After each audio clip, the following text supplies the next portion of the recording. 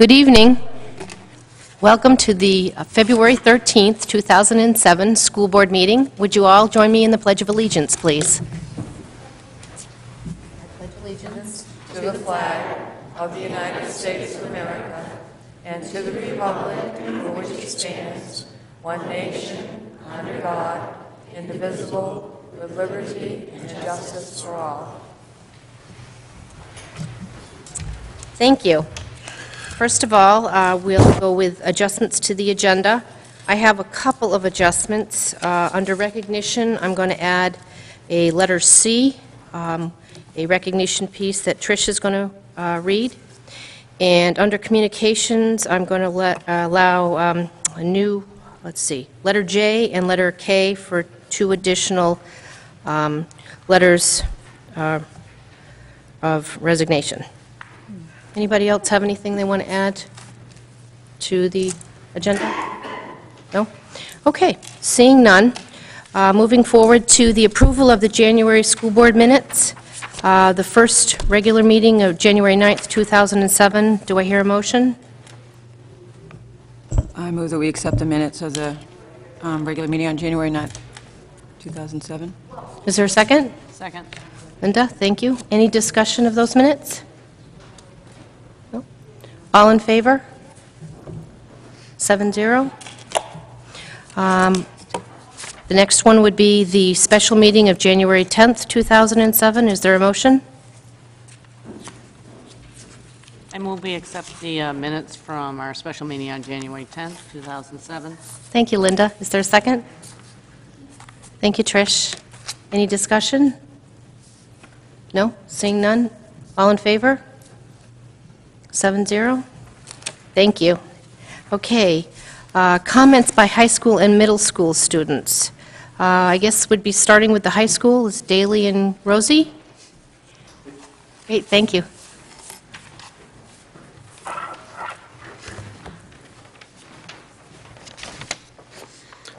Okay, well, uh, we're at the turning point of the year right now, so there's actually quite a bit to talk about. Um, first off, we just had uh, performance almost Maine, and that was uh, really good. It was the theater production, and it was really good. And I'm guessing it's going to do really well in one acts. Um, we just had uh, semi-formal dance at Camp Ketcha, and that went, I think, really well. I think we got. Um, I think $2,700 for uh, Make-A-Wish Foundation. Uh, also, there have been a couple people speak nights lately. One, uh, Congressman Tom Allen came and spoke, and last night, or it might have been two nights ago, I don't know, uh, couple, uh, three people came to talk about the Maine economy. Um, the SAC has a new uh, president, which is Matt Roy. And the SAC has just about finished its proposal about a student representative on the school board. Uh, in forum, we talked with some of you about uh, some issues that we would like to see going on, as well as some things you would like to see which include um, bringing roundtables back, which are like things we come talk about. We did a lot of trying to get those to happen last year, but apparently some students still really want that because last year's system didn't end up working out so well.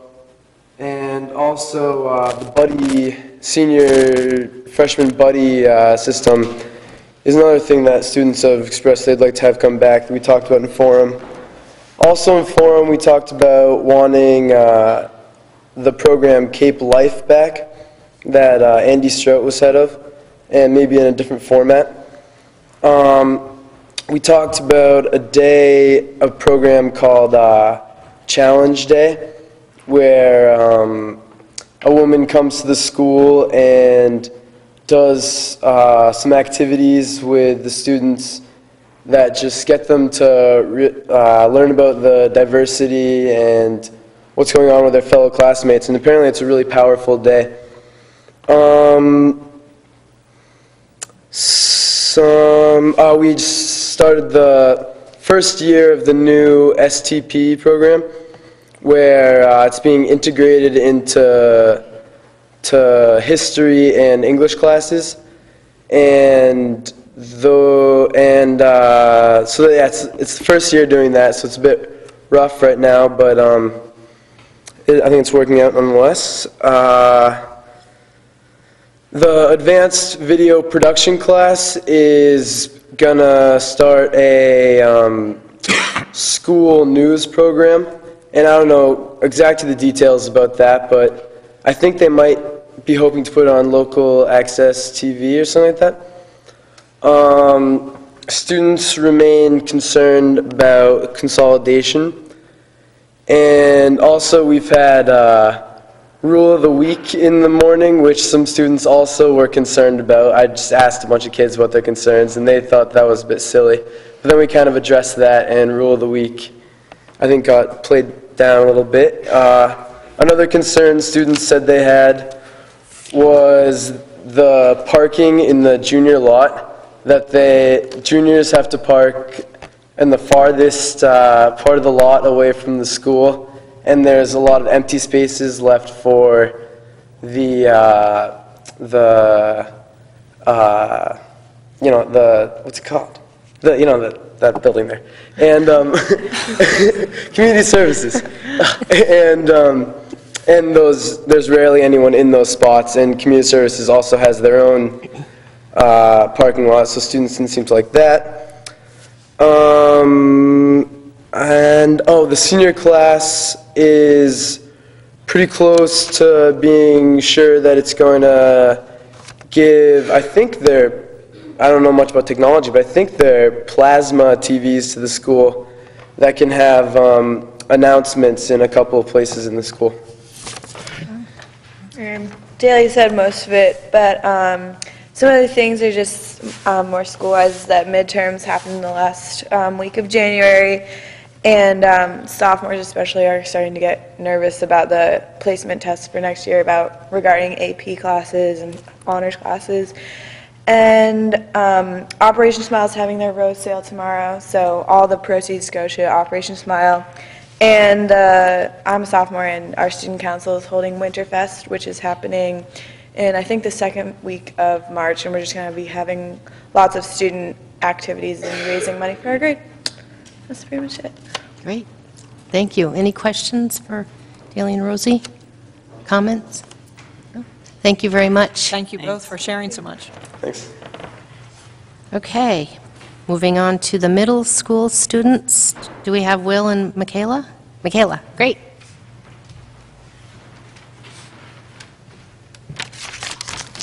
Hi.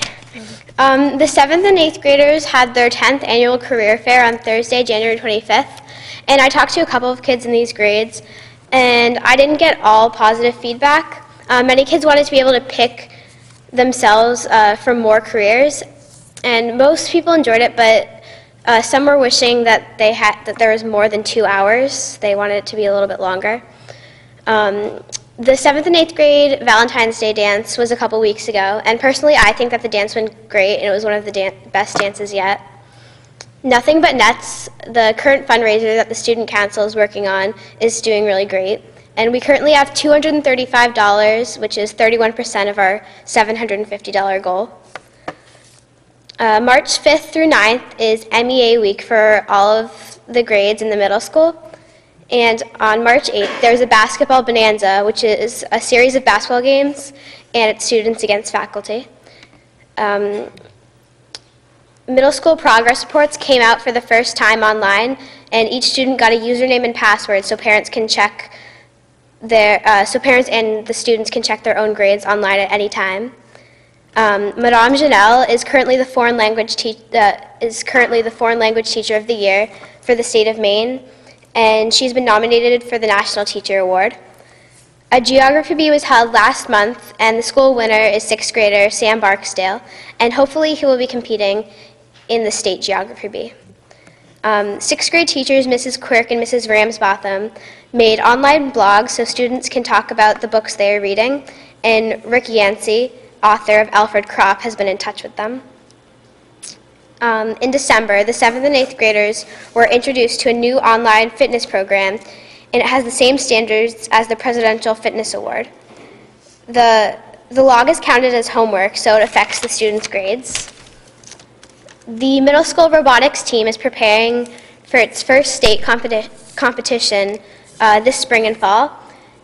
The team plans on fielding two teams with kids from grades four through eight, and the team meets every Tuesday after school at the high school. And last Wednesday was a community day at the middle school, and the fifth grade received a list of names of people in platoons and made valentines for those people. And that's it. Any questions? Thank you, Michaela. Thank you. The next uh, on our agenda is recognition of Stephanie House. Stephanie House, playing violin, won the Gould Award from the Portland Rossini Club. The Gould Award is an annual competition for high school juniors. Two awards are presented, one vocal and one instrumental. Stephanie will travel to New York, where she will attend performances of the current Broadway revival of Les Miserables and the Metropolitan Opera's production of The Magic Flute. In addition to the performances, Stephanie will also get to meet the casts and receive backstage tours of the theaters. So congratulations to Stephanie. Next, our recognition of high school students serving as mentors for elementary students. Uh, Turn it over to Gail. Thank you. I have the privilege of recognizing a really wonderful, caring, supportive group of high school students. Um, They serve as in-school mentors. They come down once a week for 40 to 45 minutes during a study period or a free period. Um, They work on social emotional growth, sometimes physical skills with students. They offer academic support. They work on raising a student's self-esteem so that the student goes back into the classroom much more open to learning, really ready to take in what the teacher is teaching. Um, This year, we have 35 mentors.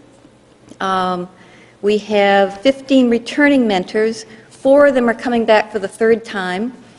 We have 11 coming back for the second time. Um, Out of those coming back, seven are working for the same student for the second or third year in a row. One of those situations bridged the gap between Pond Cove and the middle school, which I thought was especially wonderful.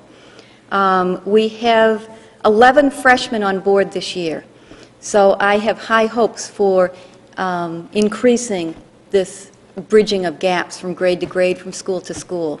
There are five sophomores, nine juniors, and nine seniors.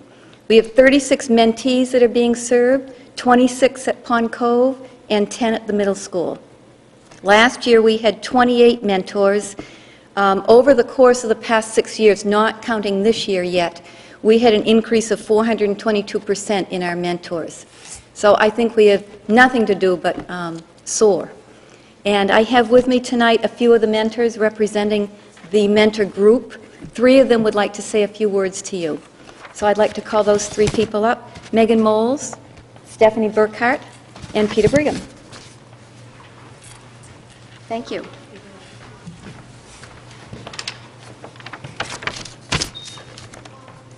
Good evening. My name is Megan Moles, and I work with a boy called Jimmy.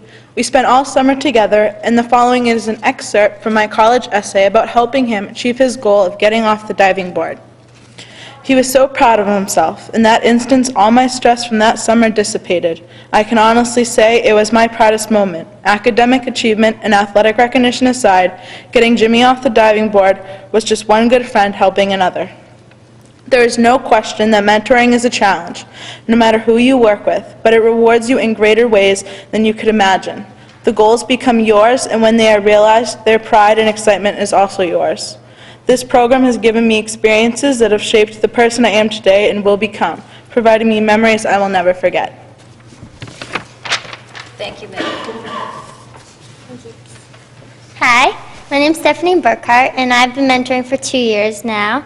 And it's been the same girl for those two years. And I go down about once a week, unfortunately. I mean, it's not enough. Um, and we talk for, and we hang out, and we eat lunch, and we play games, and it's it's awesome because I've never had a little sister. I'm the little one, and it's almost like she's my little sister because we just like hang out. And like when she has her lows, I have my lows, and when she has her highs, my highs, and like we just developed an awesome relationship. And I don't know. I, I was, I'm excited to go down and see her when I get to, and I'd just like to thank Gail for that opportunity. Thank you, Stephanie. Um, hello, once again, I'm Peter Brigham, and I've been involved with the mentoring program for a really short amount of time, but already I'm seeing that, as um, both Stephanie and Megan said, it's very much a win-win situation. Um, I've learned a lot about myself from mentoring and even learn some skills which I can apply to my own life, and I, it's also a great feeling to know that you're helping someone, and I'm really proud of my mentee for the um, steps that he's already taken and the progress he'd ma- he's made and the increase in his self-esteem. And I think it's great that we have this program in our schools, and I really would like to thank Ms. Schmader um, and all the classroom teachers who help organize that. Thank you very much. I think that speaks to the program. Um, I'd like to, Ryan Boyington is here to be one of the representatives of the mentor group. Thank you, Ryan.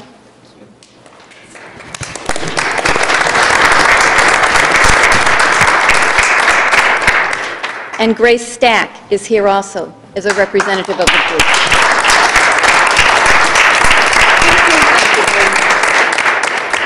Thank you. Thank you, Gail.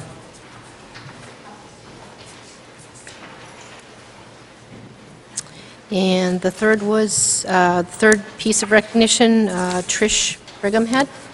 Yes, I just thought uh, I would like to take this opportunity to thank a couple people. Um, First, John Casey and the Lions Club in Cape Elizabeth for organizing the seafood charter dinner um, this past Saturday evening, and all those people who attended. I know it was a a successful fundraiser for the um, heart, external heart defibrillators for the school department.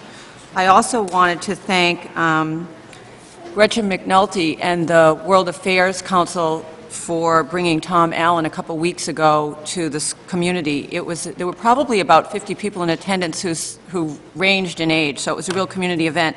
And I think it was noteworthy because having sat through three of the strategic planning discussions that we've had, one theme that seemed to emerge throughout all the discussions was how important it is to make our students global citizens. So the World Affairs Council sort of has that mission of doing that. So thank you to those people and those who supported and attended those events. Thank you, Chris. Uh, Next on the agenda is comments from the public on non-agenda items. Is there anyone here to make comments? Seeing none, we'll move on to communications. First is a letter from elementary teachers stating their intention to return after a leave of absence, which is in your packet. It's from Julie Robbins. Uh, Next is the seventh and eighth grade career fair, and I'm Gail... sorry, can I just ask? Yes, I'm uh, sorry. What, what grade Julie Robbins? When, It was second. when Julie uh, left, she left a second grade position. Okay. The fact that she's coming back doesn't necessarily mean that she would be going back to a second grade Okay. position.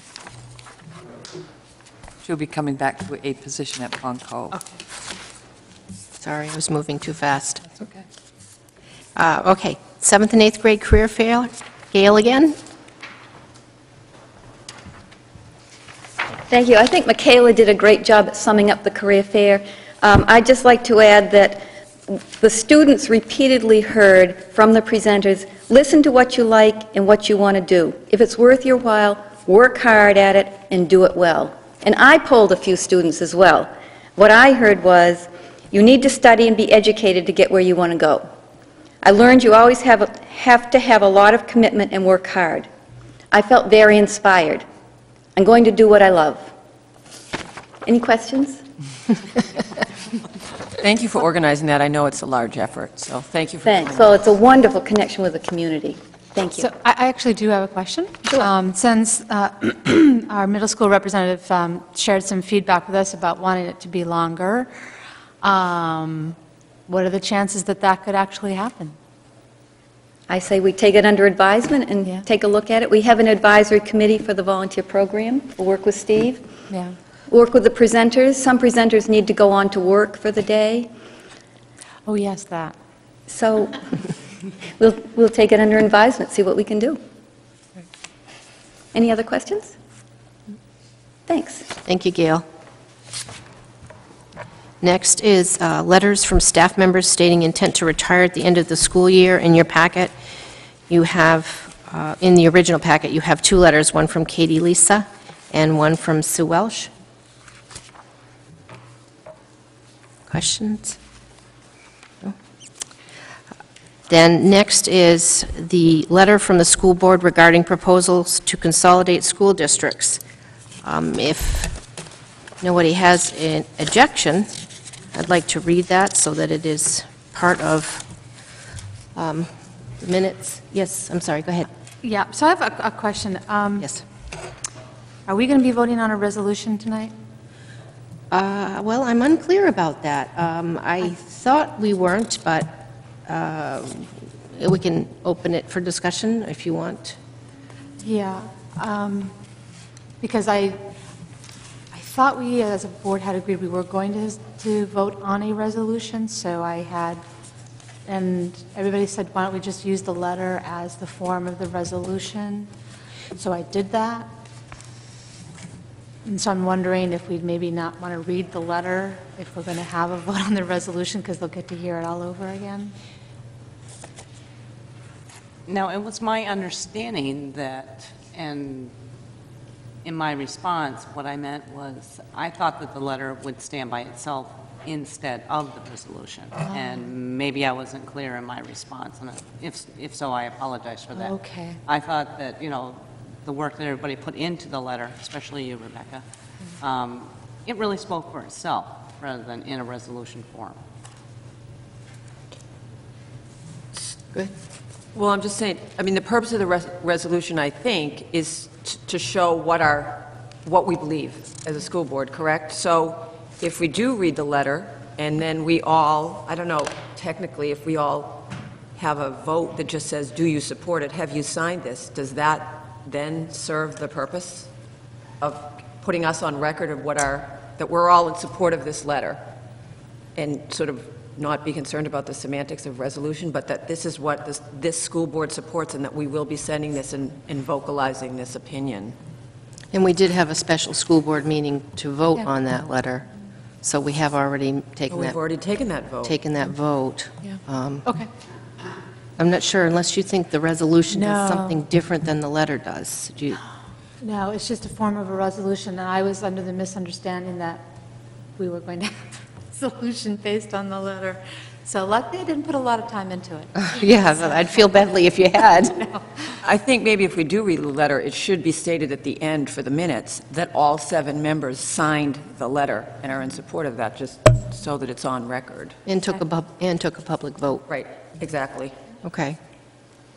So are we, do, are we all right with reading the letter at this point? Absolutely. Yes? Read away. Okay, read away, okay. The letter is dated February 5th, 2007. Dear Governor Baldacci, Commissioner Gendron, and honorable members of the Joint Standing Committee on Education and Cultural Affairs and of the Joint Standing Committee on Appropriations. As members of the Cape Elizabeth School Board, we would like to take this opportunity to convey our thoughts and opinions regarding the proposed changes to our education system, including those made under the proposed Local Schools Regional Support Initiative, LSRS, the Responsible Government Spending and Investment Act, the Board of Education's Plan, and Senator Turner's Act. We hope that you will give this process the time necessary to reach a sound policy. The attempt to rush the passage of such a far-reaching change in the way education is provided in our communities is unnecessary and possibly detrimental to education in Maine. This process should include a solid analysis with specific data on any plans impact at the state, local, and student level, and the involvement of a much broader spectrum of stakeholders. We oppose the proposed consolidation plans before the legislature for reasons provided below, but we support the notion that there are areas for improvement in the effective delivery of education in Maine, and that there is a need for tax relief. As such, we recommend the following. The process of developing and implementing a new approach to education in Maine should include a strong representation of all stakeholders, including superintendents, teachers, school board members, citizens, state legislators, and business leaders. This should be a bottom-up process and not a, and not top-down. Any new approach implemented for the delivery of education in Maine should maintain local control. The state needs to support and fund alliances and cooperatives to allow the sharing of best practices and models between communities. Incentives should be created and financially supported to encourage cost savings measures, whether through consolidation or sharing of services, essential service districts, for example. Any new measures should support educational leadership provided by superintendents, which is proven to be critical to high-performing schools. Incentives also should be introduced to encourage municipal efficiencies. Efforts such as Cape Elizabeth's one-town concept should be rewarded and supported. By one-town concept, we mean the sharing of many administrative positions between school and municipal operations. In Cape Elizabeth, we share our business manager, technology director, and payroll, accounts payable, and technology support staff. The town assists with building and field maintenance, and our community services director schedules our school and town buildings and manages our school transportation needs. The effectiveness and efficiency of county government needs to be reviewed, and changes should be made to reduce the high cost of our penal system. New revenue-raising initiatives must be implemented, such as increasing tourism fees and taxes at a level equal to at least the New England average. Maine must move forward with real economic development programs to create a sustainable economy and standard of living in Maine. We oppose all or part of the proposed consolidation legislation for the following reasons. Creating supersized districts and increasing teacher-student ratios does not advance education.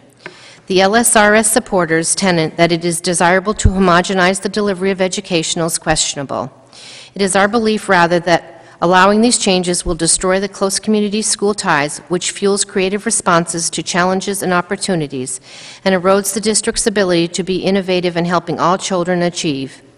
Any proposed changes must provide detailed explanations as to how they will result in the continuous improvement of student learning. We do not support mandating consolidation. No initiative should penalize those districts that currently provide an excellent education efficiently and effectively. As an example, Cape Elizabeth has a long history of outstanding educational performance. In 2005-2006, we spent on average $1,500 less per student than eight of the other districts we would join in the Portland Regional District. It is a real possibility that our town citizens, ironically, will pay more taxes for education while losing local control. We are unconvinced that a small district's educational leadership will truly have the opportunity to rise up and hold sway in a larger regional district. How can a smaller, high-performing district maintain its formula for success when it would have a minority vote on the Regional Board of Directors, one out of 15, and a minority vote on the budget referendum, 7,000 votes out of 104,000? We object to the inequity of funding a regional district educational budget based on property value and basing representation on population. Larger districts will require more mid-level administrators than currently exist, and as such, the assumed cost savings of consolidation will be significantly reduced. Under the LR LSRS proposal, we would lose town assets that are not school-related, as our town library, police department, and fire station all reside on school property. Under our one-town concept, the municipal pool and pool and fitness center, which are located in the high school and classroom campuses, campus-wide, are available for citizens' use through community services. We have no assurances that this will continue when the school property is transferred to the regional district. There are many questions that flow from the LSRS and other proposed legislation, but because we do not support the underlying precepts of mandated consolidation and homogenization of educational programming, we ask that you step back and reevaluate the best way to provide cost savings and tax relief. We appreciate your hard work in leading our state and hope that you will consider our position as you move ahead. Respectfully, the Cape Elizabeth School Board. Um, And as I said, we all, we had a meeting, and we all voted, and we signed the letter. And it was um, sent out to the um, people it was addressed to uh, and the media on or about February 5th and 6th. And thank you, Rebecca, for all the work that you did on that. Anybody want to add anything at this point? No? Oh, Rebecca? Um, Would now be an appropriate time to summarize what we learned from our meeting with Cynthia Dill? Sure. We had a meeting with Cynthia Dill last Friday. She, as our representative, attended um, at least one of the work sessions of the Education Committee, and she had some interesting news to report back. I wrote it down so I wouldn't remember anything. She was um, quite confident that the governor's plan is off the table and thinks that all the other bills are also off the table. The committee doesn't seem to be looking at using an existing bill and trying to amend it. Rather, the committee will be attempting to draft a committee bill that will be presented in the Senate. Some of the things that uh, members of the committee have said, and I actually did hear, and I can't remember the senator's name, on Maine Watch, um, say that in Maine, there were already areas that were sharing, cooperating, and consolidating, and as a result, saving money, and it made little sense to undo that work. The committee does not support an arbitrary cutting up of the map to make districts, and they are going to attempt to identify areas that already have functional organizations and other areas in which districts can or will, that's undetermined whether it's going to be mandated or not, uh, cooperate. Apparently, Cape Elizabeth is listed as being part of the Sebago Alliance, um, which, from our viewpoint, there seems to be not so much compatibility geographically or otherwise, so we're not quite sure what that's about. Uh, Cynthia also says that some of the big issues that the committee is trying to deal with um, include timing, within what time period are the changes going to be made, and money, dealing with the fact that the governor included in his budget roughly $36 million in savings for next year. In addition, I heard on Maine Watch that the committee is thinking about the possibility of giving high academic and economic performing schools an opt-out um, possibility. But now, having said all of this, it's very early in the game. Lots of things can happen. So we um, are going to continue to keep our ears pressed to the ground. There actually is a way to listen to the work sessions on that um, website page. There is an audio capability. So for background music, you can just click on it and listen to what they're saying. And they can get there from um, this- our school webpage, isn't Yeah. it? That's right. So anybody who wants to listen to it or, or, or keep up to date on what's happening can do that through our web, website. I'd like to also uh, thank Peter and Linda um, for going to Augusta last Monday, the 5th. Um, We spent a good part of the day listening to the public forum um, about consolidation, and it was, uh, uh, it was very interesting. Uh, There, there was probably, I would say, seven, 800 people maybe there initially. I don't think they were there when Peter arrived, but, um, and they split us into two rooms, and they split the committee into two rooms so that we could listen to different people making presentations. And in the room that we were in, Linda, you can stop me if I'm wrong, but I think I heard three people speak in favor of the governor's proposal. One person worked for the Department of Education. One person stood up and had, um, I guess I should say, bought the soundbite that they had heard that this, the governor's proposal would lower taxes by $250 million and improve education, and this person stood up to say he thought that was a great idea. Um, but obviously didn't know any of the pieces that went behind that, or, or the lack of information that was behind that. And I can't recall the third person, but out of the, and I think we were there from about 9:15 to 2 o'clock, and they, each of these people had three minutes to speak.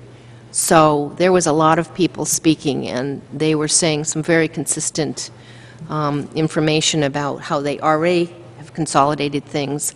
Um, Each school district was very unique in their, um, in in how they operated. Um, And and one piece that I found was interesting is they talked about superintendents, and in some of these small schools, and some of them were very small, the superintendent's position is very different than a superintendent in a larger district. This person is also a principal, is also a teacher, is also um, shoveling the driveways and emptying the trash and a variety of other things. So um, it's not consistent, you know, across districts, which you wouldn't expect it to be, that a superintendent is a superintendent is a superintendent. So that was um, interesting to me. Um, And, and I thought that the committees were listening very intently on what people were telling them, and people had come from all over the state. They had come in from Calais and Houlton, um, they had come from Frenchboro by boat, they had come from Monhegan Island by boat.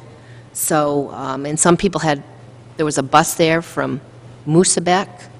I'm not sure where that was from, but Moosabec, and there was several, I mean, there was a whole a group of people from Moosabec, so um, I, I I Could have think... been all of Moosabec. It may have been all of Moosabec, I'm not sure. So anyway, I don't know if maybe Peter or Linda wanted to add something to their experience in Augusta, or... It, it was quite an eye-opening experience, even hearing people that were coming from, that were there representing school districts with as small as 12 students, and how important it was that they did not want to become part of a larger group. Um, And these are mainly island communities, and it sounds like a lot of the island communities are getting together to form a coalition. Um, So that if there is some sort of consolidation taking place, that they want to have, make sure that their voices are heard just as loud as a district the size of Cape Elizabeth, which to them is huge. Um, A lot of these are small schools. I mean, they are literally three-room schoolhouses that are housing K through 12 students. Um, And it, it was amazing to hear just how passionate they were and how every parent in the district was coming out and speaking against it. Um, So it isn't just us in the southern counties. It, it was quite amazing to hear some of the uh, philosophies of the, of the northern counties. Um, There are clearly two Maines that still exist. However, I think this is one of the few topics that we all agree on, that um, the plan that the governor put forth is not going to work for any of us, no matter where we live. Thank you. No comment, yeah. Okay, thank you. Kathy, I just realized that we also probably should um, thank those citizens that signed the petition that you brought up to Augusta, and I believe Cynthia Dill presented on our behalf. Do you remember how many signatures there were? 350? 350. So 350 signatures, and I believe it was collect, that was just collected in a matter of three days or something days. like that. So um, that too in of itself was probably pretty impactful, so uh, thank you to those citizens that signed the petition. Yes, and and Cynthia did stand up, and um, I had brought out multiple copies of that petition, and she gave that to the committee. Um, And I think the only thing I'd also like to say is, I would encourage all citizens of Cape Elizabeth to try to stay as up-to-date on what's going on in Augusta as possible. I think it's changing daily, um, and um, they can go to the website, get the information, and then communicate with their legislatures, legislators, about where they stand and and their feelings, because I think it's very important that as many people get involved as possible.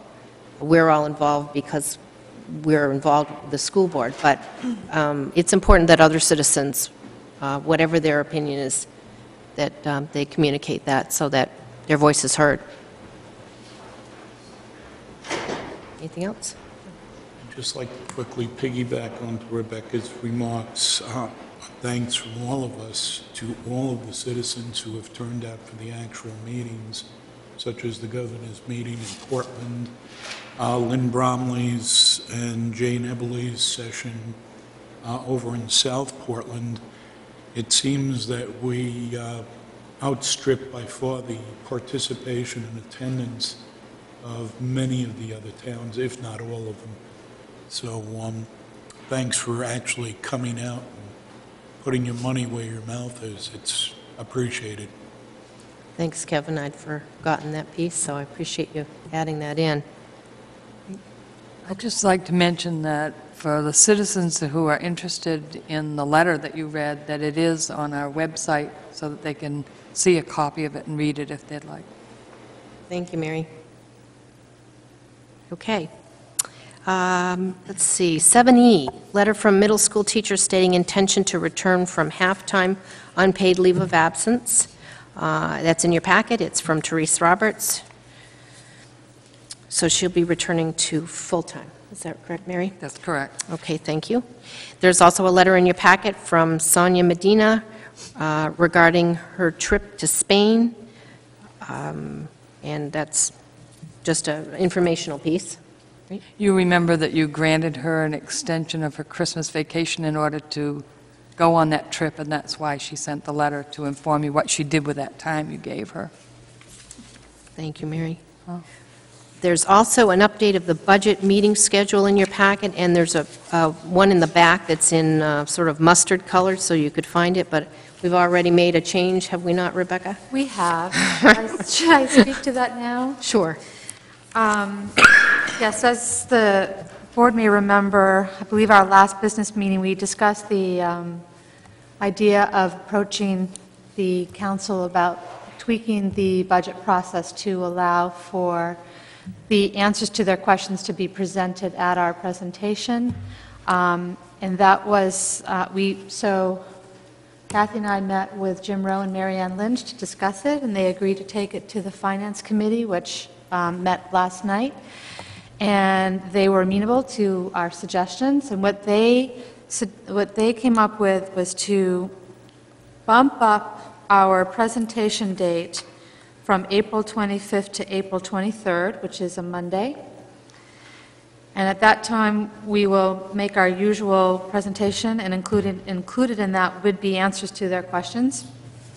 And then on keeping April 25th as a potential second date, if the town councilors need more time to review the information that's presented to them. So that is now how the budget process looks. Pauline, I have passed this information by Pauline, and she thinks it can work. And um, she- we did uh, ask through Marianne if the town council could try to get the questions to Pauline by April 17th. And Marianne said that she thinks that that would be possible. So I think we are in good shape.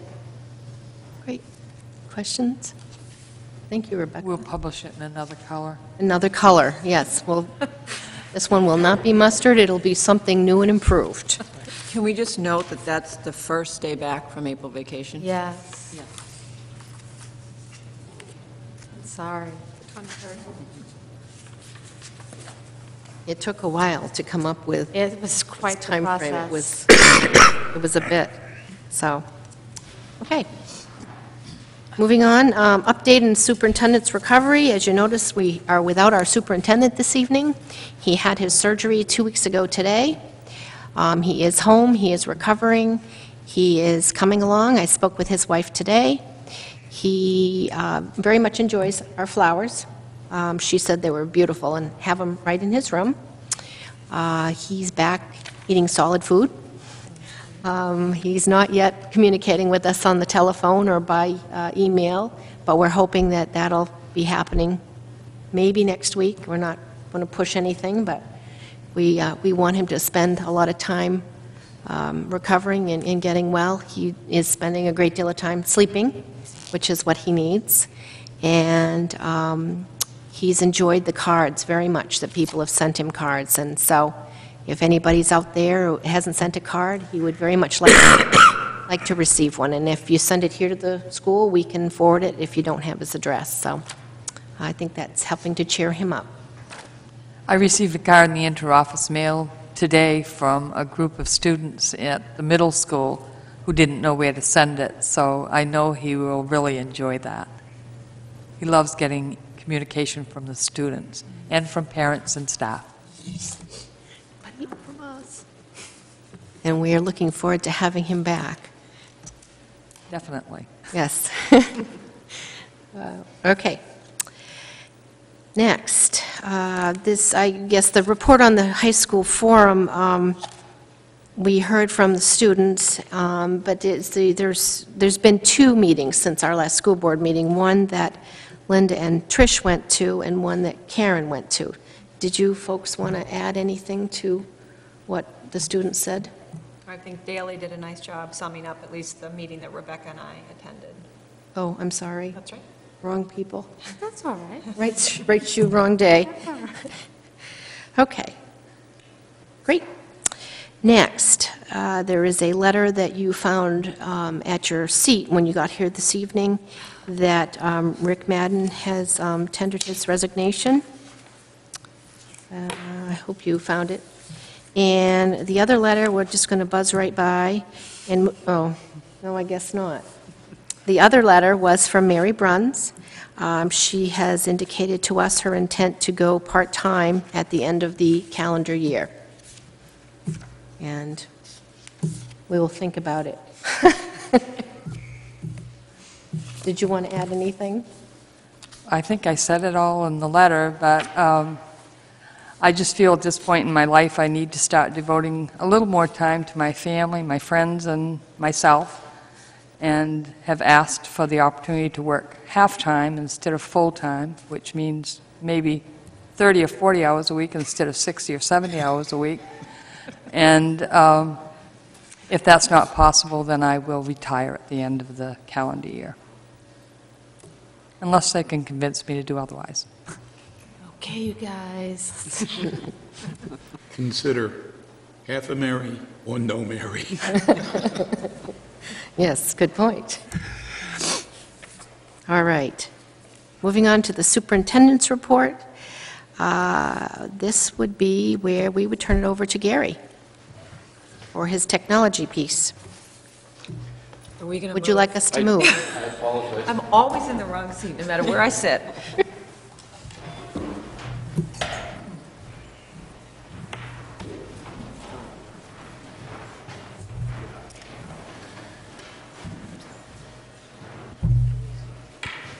Yes?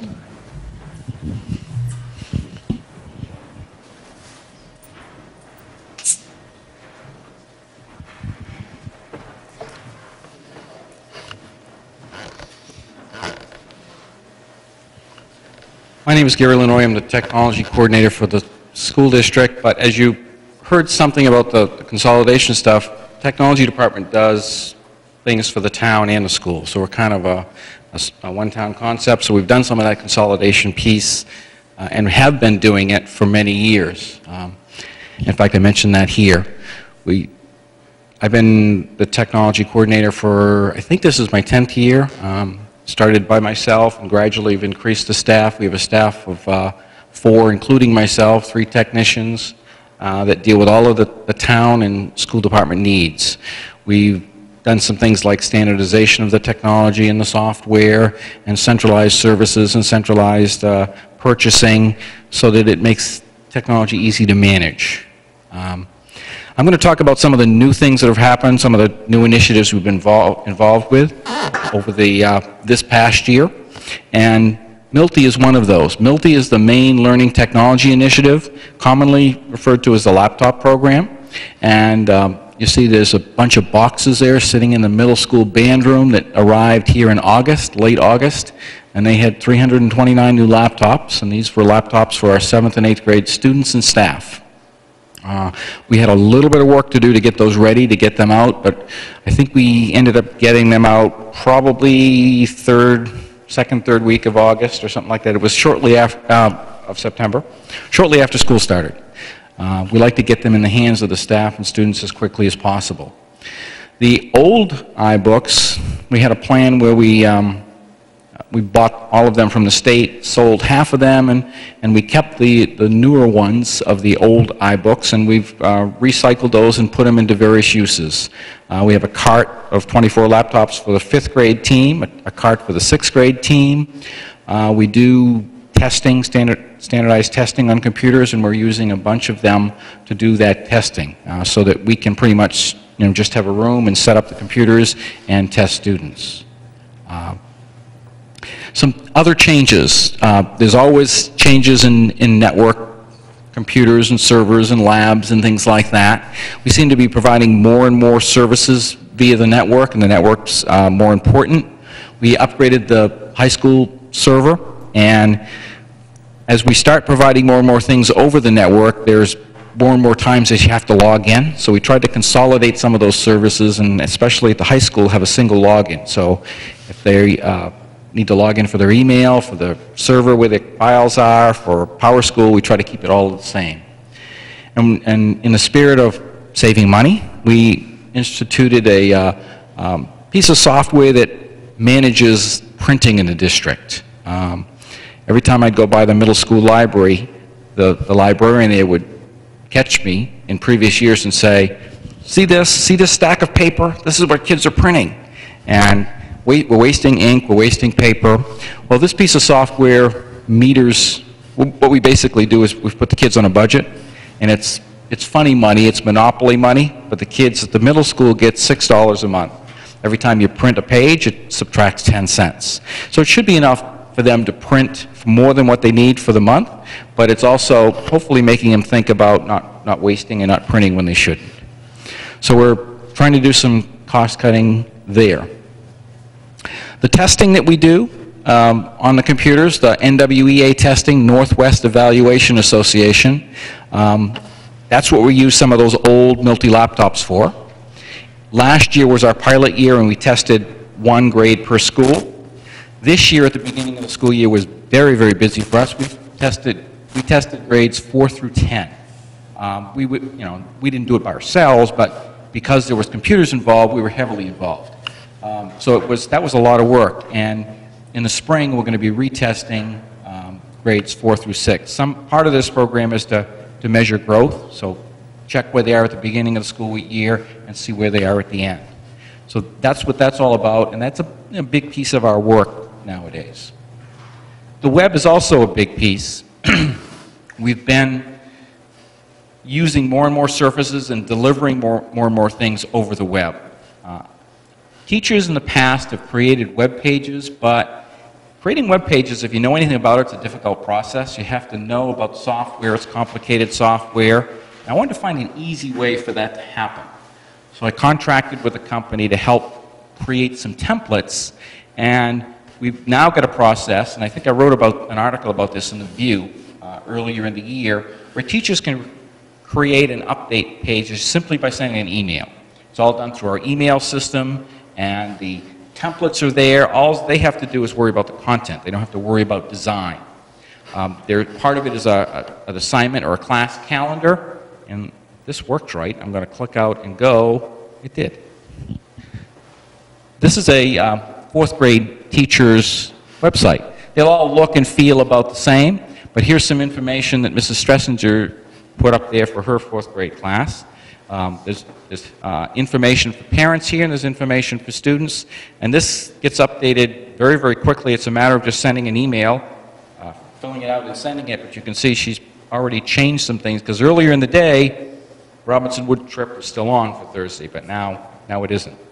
Might have something to do with maybe some potential weather tomorrow, too. So those teacher websites are are part of the web services, the increased communication piece that we're de- delivering. Another piece is a, the Power School portal. The middle school was our pilot school for the Power School portal. Power School is our student information system that contains all of our um, student data, grades, schedules, attendance, all of that kind of stuff. It's a web-based system, and it uh, has a piece where we can turn on and allow parents and students to access it. And we all along have been thinking that we're going to do this, and finally did open it in December for the middle school. And we recently opened it, uh, I think it was a week ago Monday, for Pond Cove. Uh, high school, we're working on that. Probably at some point next year, you'll see that happen there. If, uh, if I click here, takes me out to the portal website. You'll see there's a place for a username and password, and it, it's created individually for each one. And we've created some tutorials down here for each school. So if you want to find out about the, the Power School portal, there's a thing called a podcast, and I'll talk about podcasts a little later on, um, for each one of these, and it shows you the features and what you can find when you look there. When we first opened this up, I, here's some statistics for the middle school. And what I did is I took a look at the last month at the middle school. So from 113 to 213, um, the Power School portal has been accessed uh, by 472 of 569 students. So that's like 83% of our students. And it averages 161 accesses per day. So these are, this is data that's part of the system. So students are using this a lot. The reason Power School calls this the parent portal, we call it the Power School portal because we feel it's more for the students. It's a way that they can keep track and keep accountability for what they're doing. So this is, this is some recent statistics for the middle school. And here's some statistics from Pond Cove.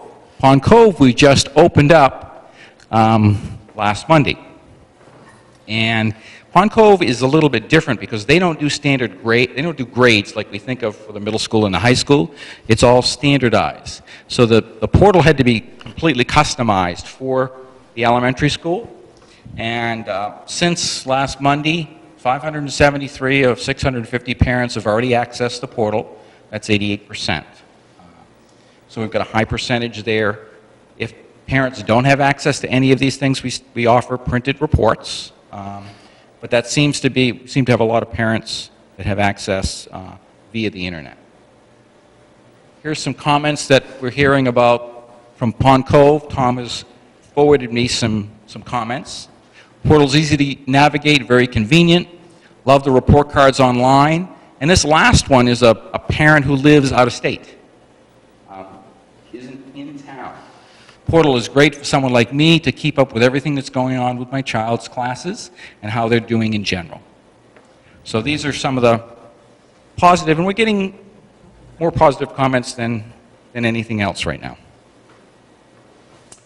Um, I mentioned the word podcast. If you haven't heard of a podcast, podcasts are media files that are distributed over the internet, and you can play them back on some kind of an MP3 player like an iPod, and that's kind of where the pod gets its name, or you can play it on your computer.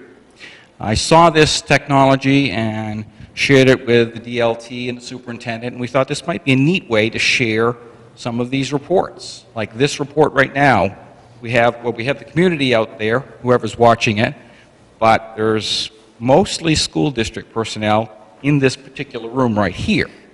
So if we could find a way to get these out there on the web, then you as a, a citizen can, can look at these things whenever you want to.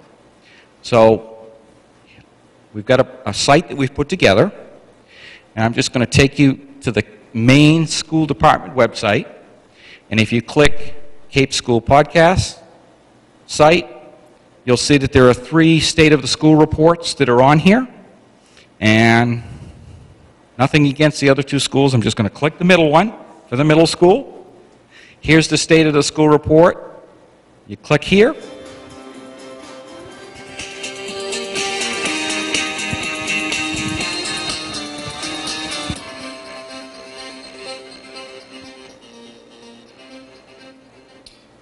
Hello, my name is John Casey. Currently, I am serving as the assistant principal at Cape Elizabeth Middle School. As a former longtime teacher I'm not going to play all of that for you, but it's on the web. So you can go there and see that. But you can actually hear our administrators uh, talking about their, their PowerPoint presentations, and you'll see the slides as they go along. So please check out our new podcast site. We're going to add some more uh, podcasts there. I'm going to do a version of this tech report on there. Special Services is going to have a piece on there. Um, something at uh, literacy at Pond Cove, and we'll, we'll be adding more and more things here. So we're trying to do more and more communications via the web. Go back to my presentation here. There's a technology committee that meets monthly, and the state requires us to have a, an updated technology plan. Not only does the state require it, but it's also required for some of the funding grants that we get through E-rate, and we're required to have an updated plan. Ours expires this June. We're working on a new one. We've got a, a, a draft on the web. There's a broad representation from each one of the three schools, from the school board, from administration, and we're working on this and hope to finish this, or we will finish this, um, hopefully by May, so that we can then uh, publish this. When we started putting together this technology plan, we found this National Education Technology Plan site, and there were these seven goals or topics that seemed to, to fit right into what we wanted to do. So we kind of borrowed those, and these are what we're going to base our plan around. We're going to strengthen, strengthen our leadership.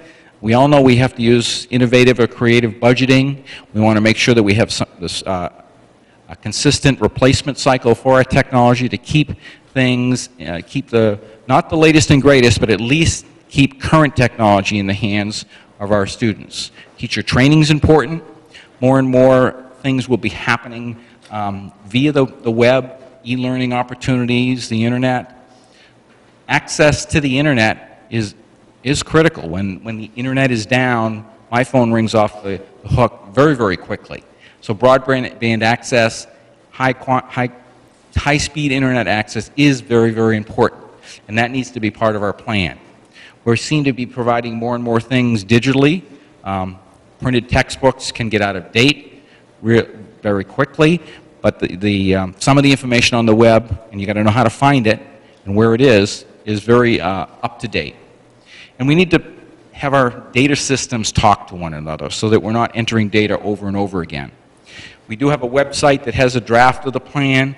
It isn't really public yet. We've got it kind of sharing it with the committee. These are our 14 points that need to be in the plan according to the, the, the state and the E-rate guidelines, and we're working on those, and when this is done, it will be open to the public.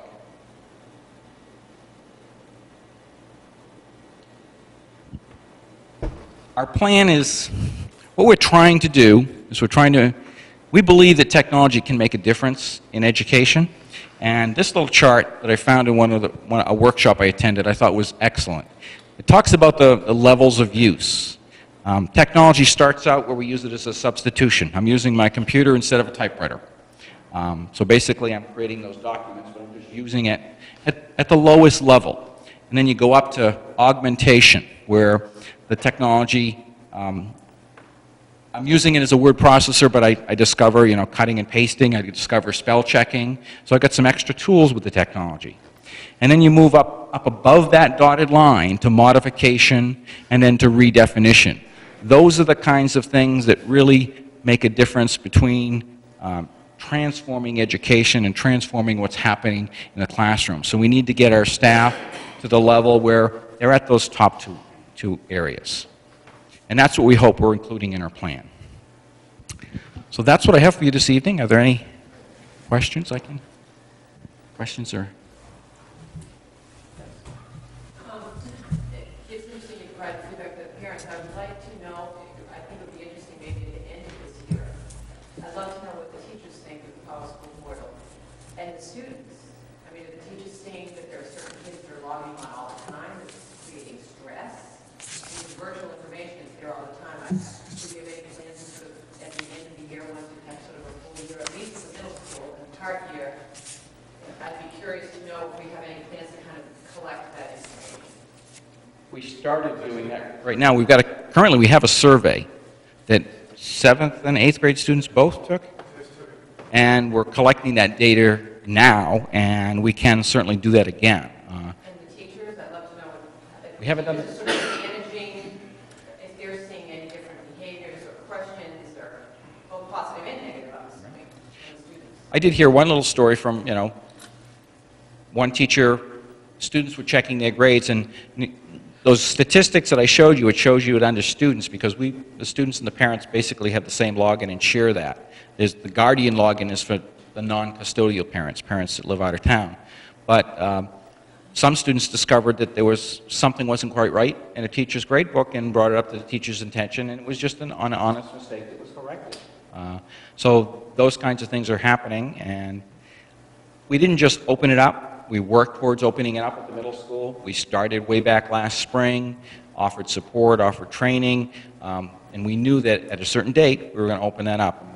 We'll probably do that, that same kind of thing at the high school and give the teachers all the support that they want. And we, we do spell out the expectations of, you know, what kinds of things will be, what kind of information will be there and when it will be there. So hopefully that takes the level of stress down. And when you get the information back from the surveys that you give to the students, will you be sharing that information with us? Certainly can do that. That'd be great. Sure.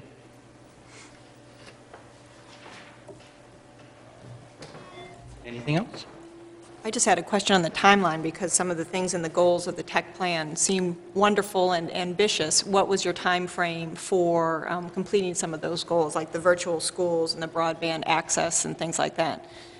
They'll be included in the plan, which is a three-year plan. 2000 So 2010? we haven't got to that, exactly what the timeline will be, but we're working on that, and that'll be shared and open for comment for, you know, we have representations from each school, but we'll want, you know, input once we start getting a a draft of something down. Right. Other questions? Thank you. Thank you.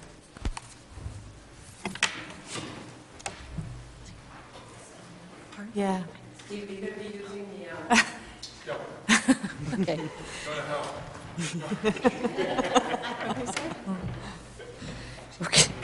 Okay, uh, then I guess we'll be moving on to the middle school, and the middle school writing report by uh, Jamie Michaud and Steve Conley. We have paper handouts. You have paper.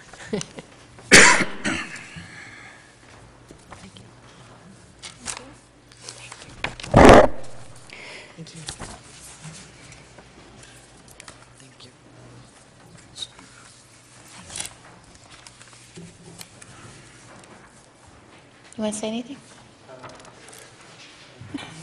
Get me started? Um, This presentation is mainly about our language arts writing program. Jamie Michaud, along with uh, one of her cohorts, Allison Hawks, has been serving this year as a lead teacher in that area, which means she has uh, one section, one class period per day that she's freed up to try to do the work of uh, leading middle school writing. It's quite a daunting task. I was talking with one of my cohorts from Yarmouth who was saying, you do that in one?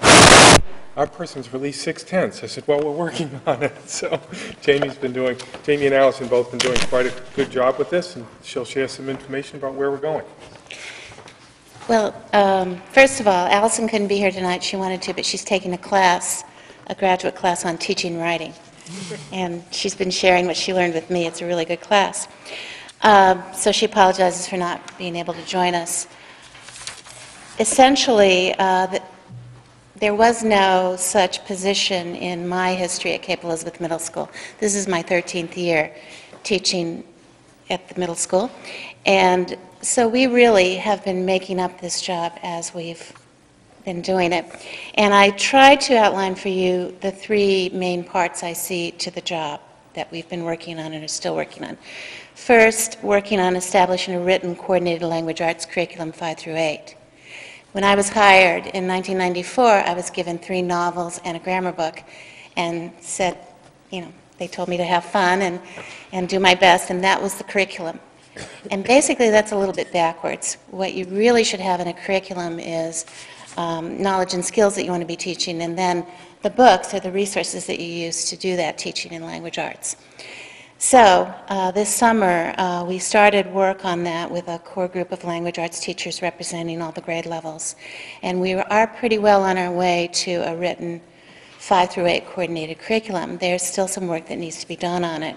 Right now, we have the essential knowledge and skills that we would like to see in grades 5 through 8 on paper.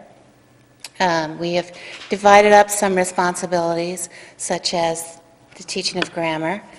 Um, We have all agreed to use the six traits of writing as the way we teach writing and the way we evaluate writing, mainly the language we use to teach and evaluate writing. And I listed the traits there for you. Um, The six traits are on all of our language arts product descriptors and rubrics. And I think, you know, pretty much every, no, I could say 100% of the language arts teachers are on board with that and using that as a common language. And all grade levels have agreed to teach and, and give opportunities for students to learn three core modes of writing, narrative, expository, and persuasive. In past years, really, what was happening was the language arts teachers were basically doing what they felt was important, each individually in her own classroom. And we were talking with our grade level peers, but not talking much to the other grade levels, primarily because we're organized on grade level teams and not content area departments. So we had no common time to talk to the other language arts teachers in, in the other grade levels. And that led to some problems. Uh, It led to some gaps in our language arts curriculum and some overlaps, some things that we were doing too much of and some things that we weren't doing enough of. Um, So this summer we started on dividing up the responsibility because it is a huge responsibility teaching language arts. It involves so many, so many uh, elements. And that's going pretty well so far, I think, although one of my next jobs, um, as soon as MEAs are over, maybe while they're going on, is, is to go and survey the language arts teachers and see where we are on the things that we promised that we would teach this year, to see how that's going. In progress, um, on our curriculum, uh, which we're using the district template that was developed by the district curriculum committee, which I'm a member of, and uh, we still haven't fully completed uh, common assignments that are given at each grade level. I said assessments here, but common assignments that might be given. We still need to do that. We still need to fold in the accelerated language arts classes into uh, the curriculum. Haven't done that yet because in fifth, sixth, and seventh grade, um, the teachers teaching those fifth, sixth, and seventh grade classes, this is their first year doing it. So it, it seemed a little early to decide um, which of the knowledge and skills also belong to accelerated and what resources we're going to commit to using. So I'll be working with those two other teachers, one of which is Allison, and we'll do that.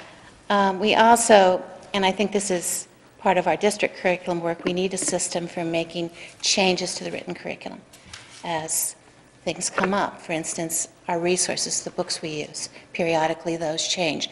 We need a system for making those changes other than the current or previous system, which was one teacher decided she'd rather teach a new book, and so she went ahead and made that decision on her own. We want to get away from single teachers making curriculum decisions in isolation. So that's one goal. And we need to establish some regular meeting times. We still have that problem of not having regular meeting times to communicate with language arts teachers in other grade levels.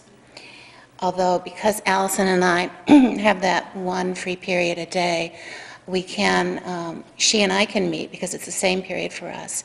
So I can stay connected to the seventh grade, and it's also a sixth grade uh, common planning time. So the grade that I'm having most trouble catching up with is the fifth grade, but we'll work on that.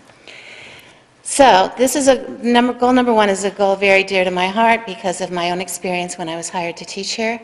I essentially had nothing. And in the school where I taught previously, I had a whole binder with, you know, what I was supposed to teach and the materials that I could use to teach it. And it's really nobody's fault. I'm not blaming anybody. Um, it just had never been done, and now we're really going to try to do that. And I know the high school, of course, is has worked on their curriculum in the English department, and that's another part is to, um, we, on uh, the early release, no, the full release day on the 26th of January, we had a very good meeting with uh, language arts teachers K-12. And um, we, they're very receptive, uh, the high school is very receptive to our concerns as uh, middle school teachers on what they would like to see in the students that we pass on to them. What, what do they really want us to teach? And so we'll try and, and incorporate that into curriculum changes that we make in the future. Second goal is to extend the teaching of writing into other content areas, also a goal that's dear to my heart personally, because we just can't do it alone in language arts class. And too many of our students, by the time they're in seventh or eighth grade, don't think that writing counts in other classes. They don't think they have to write clear, complete sentences when they're doing a science lab report or a social studies assignment of some sort.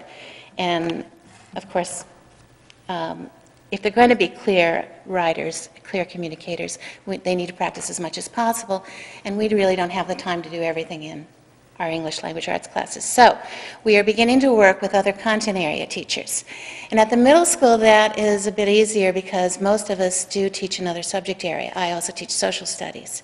And most of our social studies teachers also teach language arts, but not all of them. For instance, I just started working with an eighth grade social studies teacher who does not teach language arts, and I'm not sure that he ever has. I'm, and we are working on, he's disappointed with some of the writing that his kids have done, so we're going to be working on some uh, assignments based on the six traits so that uh, he can more clearly present to them what he wants.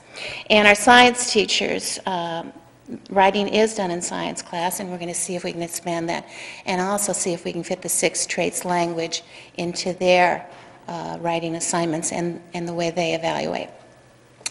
And um, this is kind of, I slipped this in under goal number two, but, um, and this became goal number two just so, so I would fit on the same page with goal number one. There's no particular order here. I was just trying to fit it all together without having anything overlap onto the next page.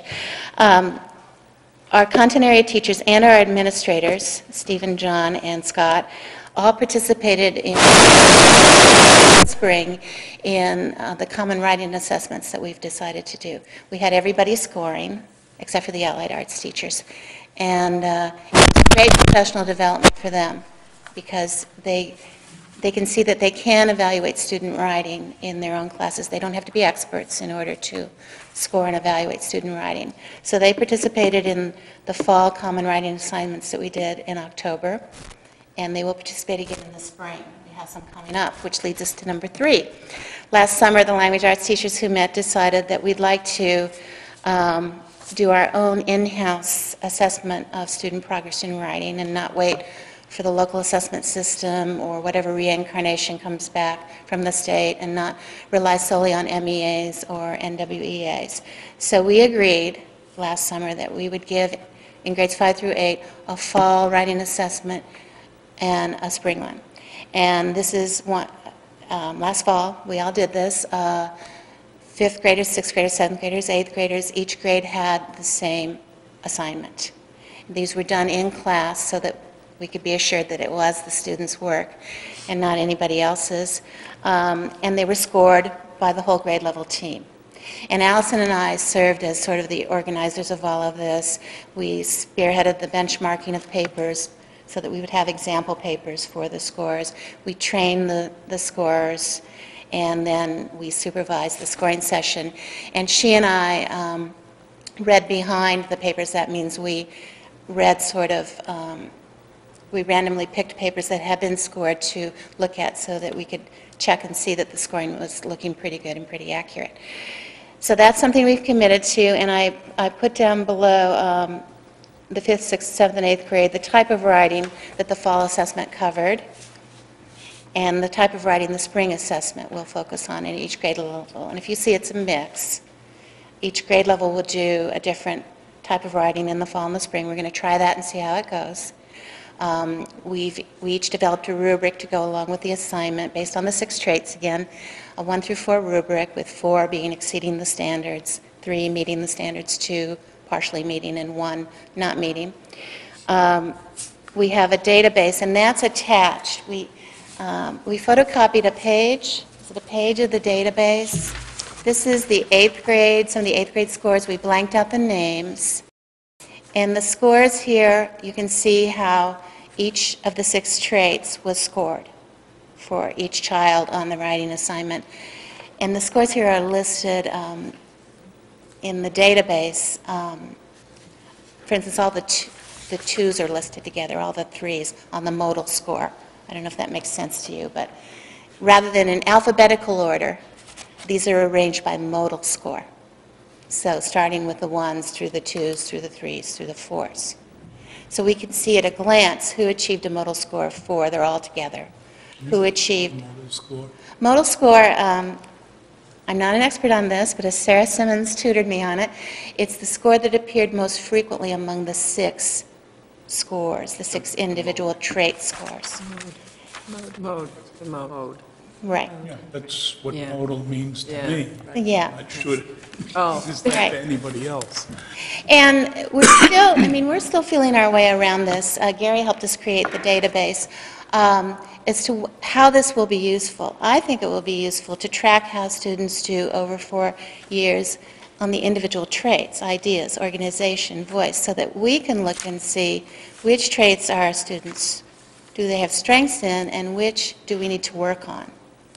And we, we did have a faculty meeting, or uh, I guess it was a, an early release day, we got together and examined the data that we had from our October assessments and scoring session, and we, we, we saw some trends.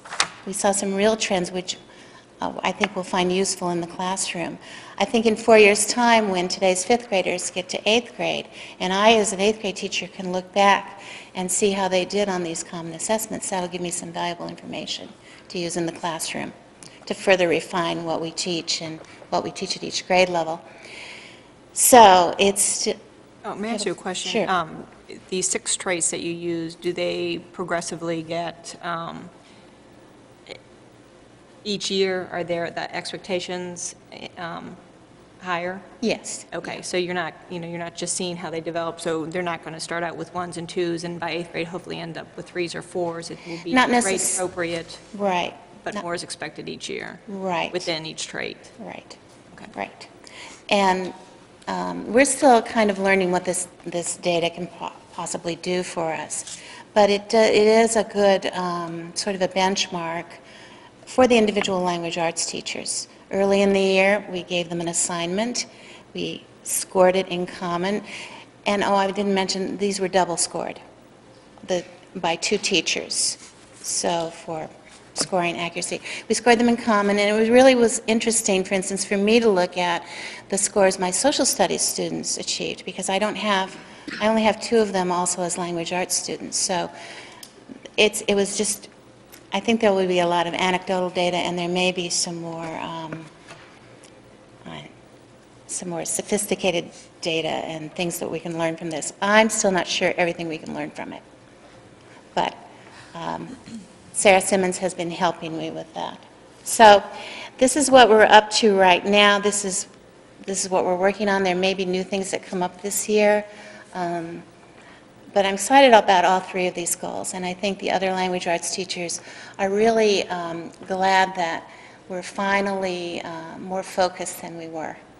And we're talking to each other more and not so isolated in the classroom anymore. A few more uh, pieces that I'll just add into this is that, um, first of all, any of the, uh, st- what we've done with our format of our staff meetings, because we're looking for ways to provide more time, is that we split them up between uh, half an hour, half of the session will be spent on uh, whole group conversations, discussions about uh, whatever the topics are at hand, and then the other half is going to grade level discussions or content area discussions to continue some of the work on topics such as writing and uh, advocacy through advisory or um, our science re- uh, reform. We're also using, uh, during our professional development time that's coming up March 16th, we're following our, the work that we did on the 26th, and we're working collaboratively with, uh, while, while this work is saying, what are we doing five through eight, it's not uh, just, here, we're going to do this, and boy, we hope the other two schools have something going that, that will make this look coordinated. Um, Tom, Jeff, and I, and we meet with Sarah as well, we're talking regularly about what's going on in these areas, uh, particularly in writing, language arts. So we're trying to make sure that we have good dialogue between the schools. We're also uh, promoting collegial visits. Uh, Middle school teachers typically do at least two collegial visits.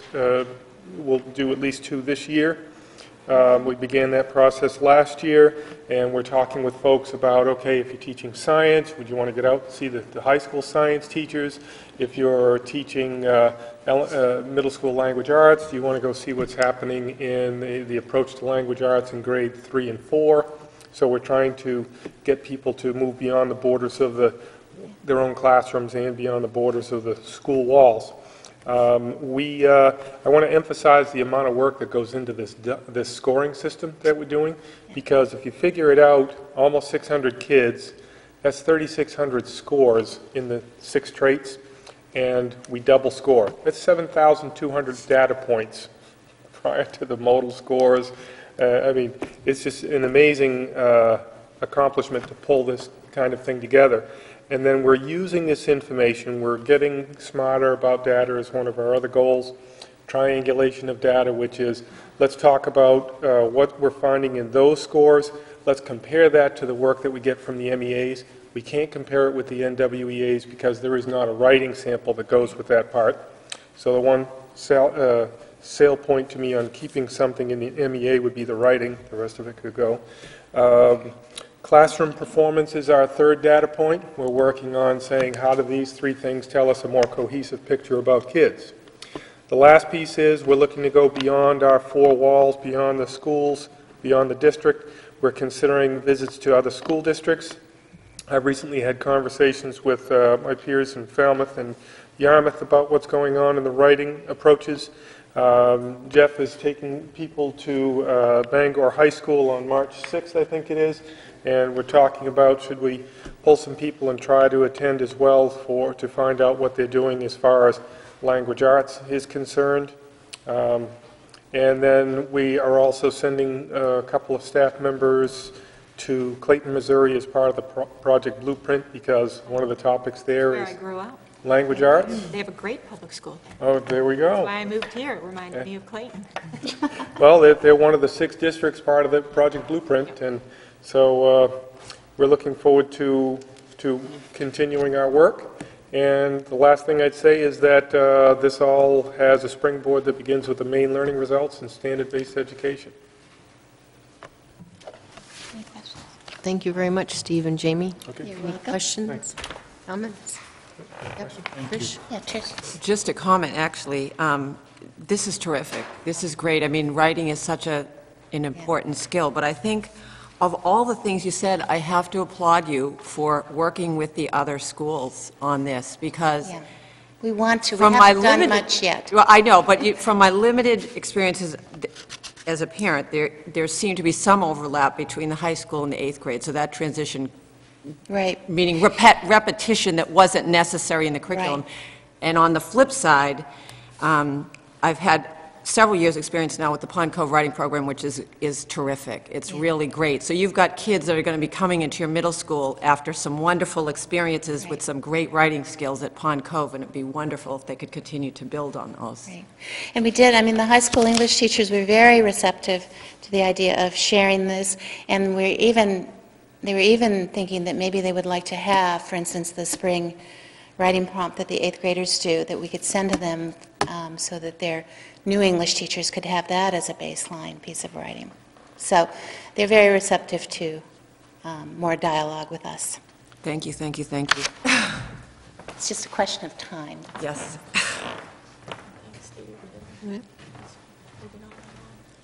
Okay, unfinished business.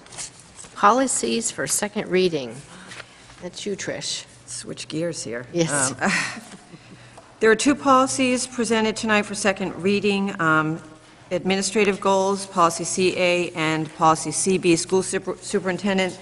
These were sent back sort of as a group um, for consideration of language which specifically referenced teachers. Um, In the second sentence on CA, all administrative duties and functions shall be appraised in terms of contribution that they make to better instruction and to high student motivation and achievement. I believe there was a question about specifically putting in teachers. We did discuss that at the policy committee meeting. We felt that particularly in that sentence, that it was implied, so we would like to um, present these two policies as they are um, for approval by the board. So I, I need to move. Um, I move that we approve policy CA and CB as presented. Is there a second? Second. Thank you, Rebecca. Discussion? All in favor? Seven zero.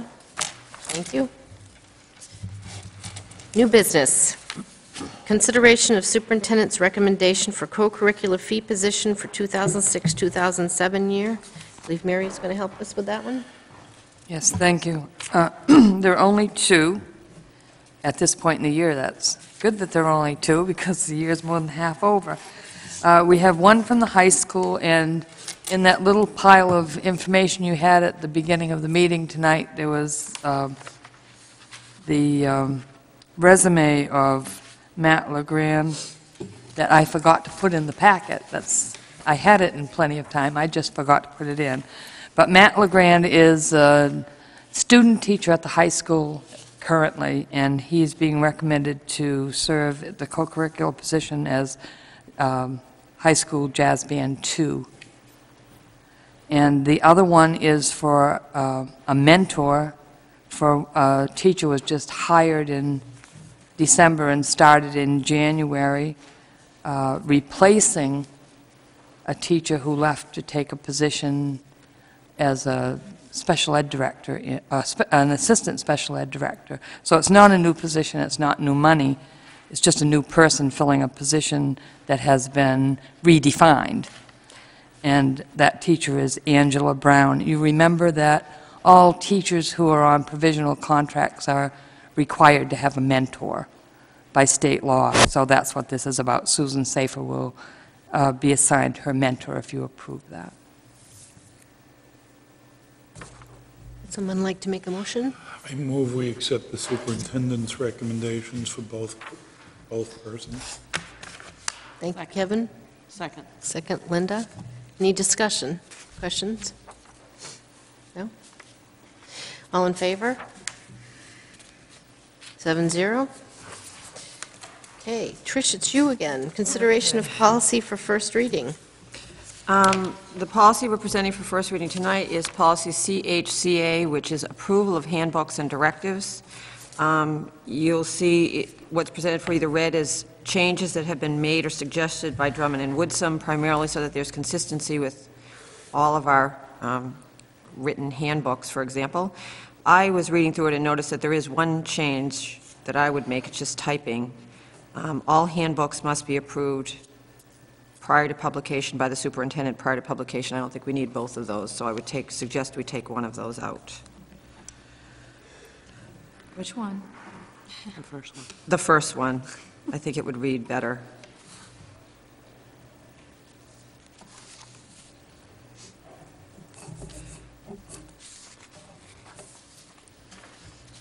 Any other questions or? I think, Rebecca, you had one comment. Did you want to, I think you had suggested, um, or wanted to raise a question about whether or not we wanted to have a comment about that the distribution and availability of the handbooks, you know, Yeah. were Is that in a separate policy, or is this where it would go? I actually, I looked into that. I looked at a couple of the different um, policies, for example, the Student Code of Conduct. Each of the individual policies that deal with particular handbooks, it says there where they are and that they're available. If you want the policy to co- committee to consider it, I I don't have a problem with doing that and bringing it back for discussion.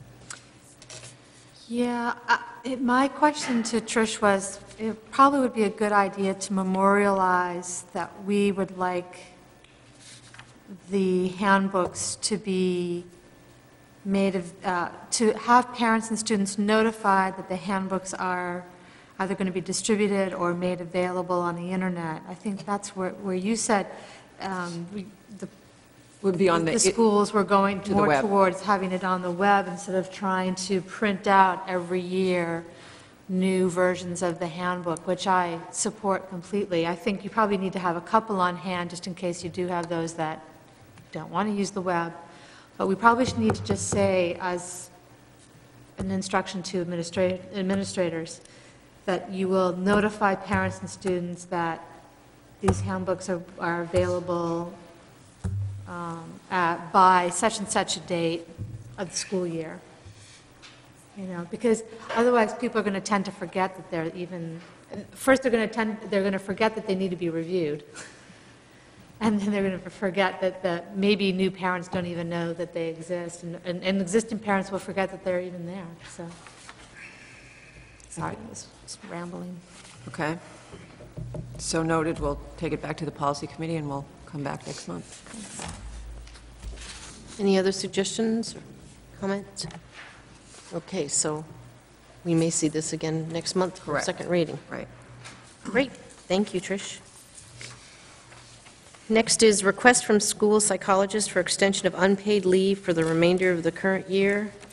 Mary, did you want to, Uh-huh. that one?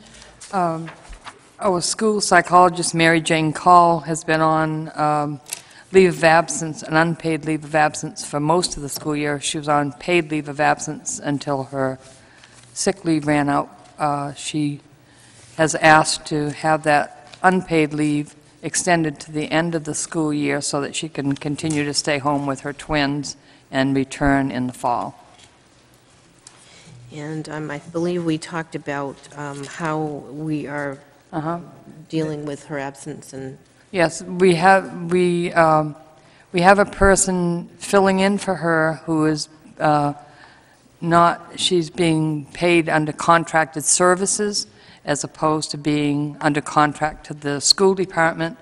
So by continuing uh, uh, Dr. Call's leave of absence, we actually would be saving money for the rest of the school year. How old are the kids? How old are her children? They were born in October, This past October. this past October. That makes this easy. Right. Did you want to make a motion, Kevin? I move that we extend the unpaid leave to Dr. Cole, is it? Yes. C-O-L-L? C-A-L-L. Cole. Call. Um, Pardon as- my main as re- accent. As requested. Is there a second? Trish? Discussion, questions? No? All in favor? Great, seven zero. Thank you.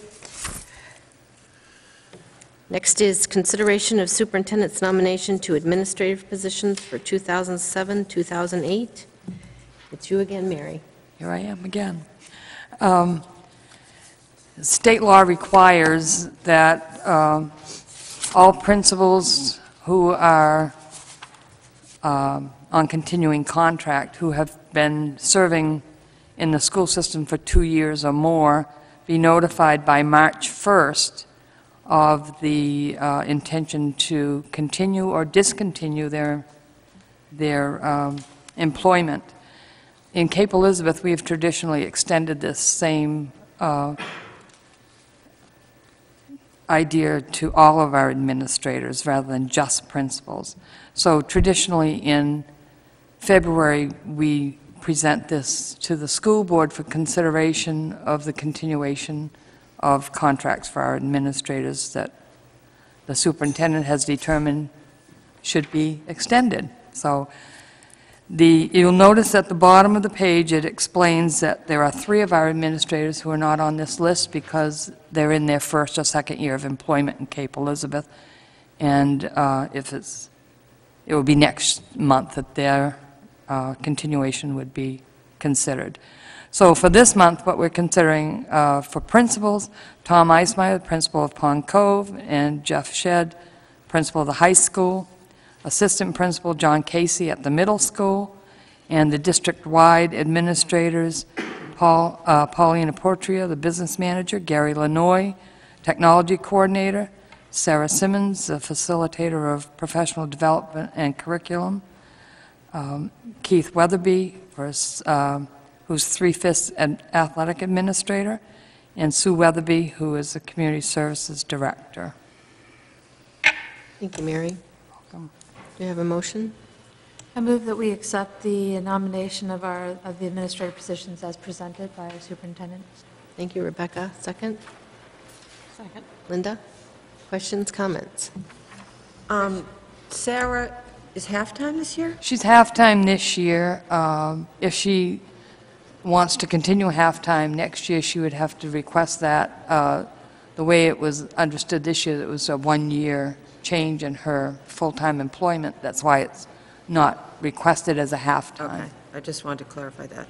And Shari, then that was a one-year situation too, so we don't need to do anything with Shari's. No, if, if, um, if Sarah determines that she needs another year at half-time, she would make that request through the superintendent. Okay. And you would vote on that again at a Sep- later date. Okay. Thank you. You're welcome. Other questions, comments? Okay, all in favor? Seven zero. Thank you. I just noticed that we nominated them to administrative positions for the Yes. 2074. Yes, I through know, that was a 2008 school typing year. error, excuse me. You guys are covered. You're here for a long Yeah, but they're time. only, they're only here until 2008, though. It started. Yeah, in that's two- true, that's the ending. Exactly. All right. Consideration of job descriptions from Personnel Committee. Linda?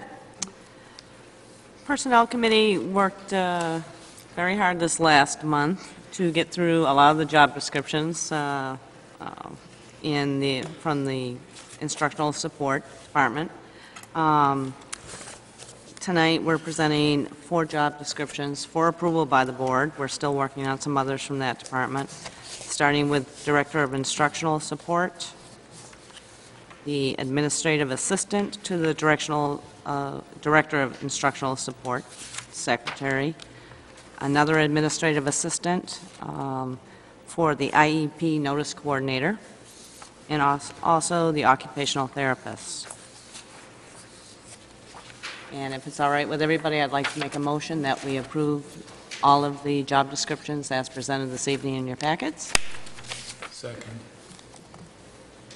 Kevin, discussion? Questions?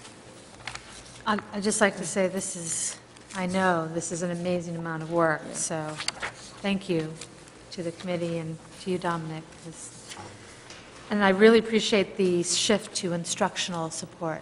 Mm-hmm. I think it's a very positive development. Did you have something else? I just had a question, and it's a little question. The administrative assistant to the director of instructional support, and then for the secretary, and then one database, they just have a different term of employment. One looks like it's a school year Correct. only, and one's full year. That's just Correct. the nature of the job? Correct. Thank you. Anything else? No? Okay. All those in favor? Thank you, seven zero. Great. Uh, Consideration of PATHS, Part Two budget. Kevin? Um, The information that you've received in the past, um, Alan and I both recognized it was incorrect. Fortunately, it's incorrect uh, in our favor. Um, I don't know where the number of nearly $7,000 came from, but the Part Two cost um, that I'm bringing before you tonight is $3,892 which is based on an average participation over two years of 14 and a half students. Um, That consists of, um, that's our portion of a, an- of new program um, expenses and equipment of $144,000, which is a few bucks short of the same uh, category last year. So we've been, uh, our track at PATHS has been zero budget increase over the last almost five years. That is what I'm submitting to you. I think we sent along um, some detail, but if not, um, I have enough information here to, uh, background information, if anybody requires that. You'll find it on the, uh, on the different clusters, um,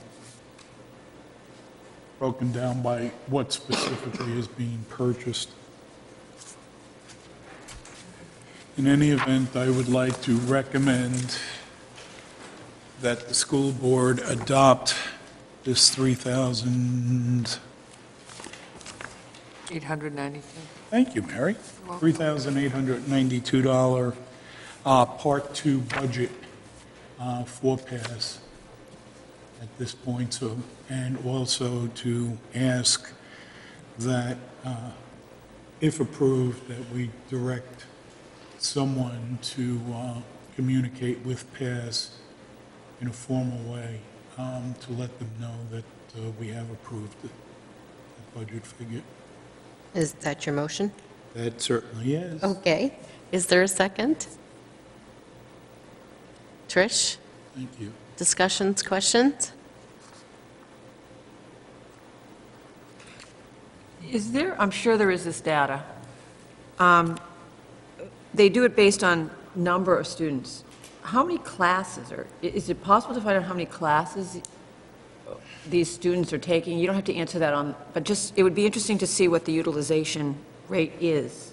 Well, anyone, anyone who goes to PATHS takes a full boat of classes for whatever program they're in. So they're there for roughly a half a day's worth Okay. of classes.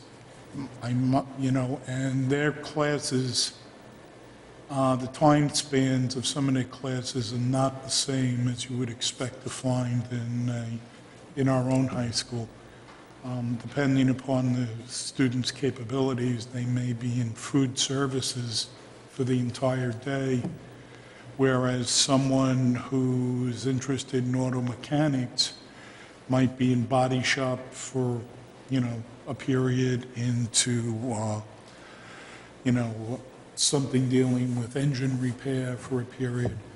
Um, I'm sure we can get the information. No, you- you've answered my question. They're at least there for half a day of classes. Oh, That's yes, the only thing. absolutely. Okay, There's- thank you. Right now, the way PATHS is built is this, there's a session A and a session B.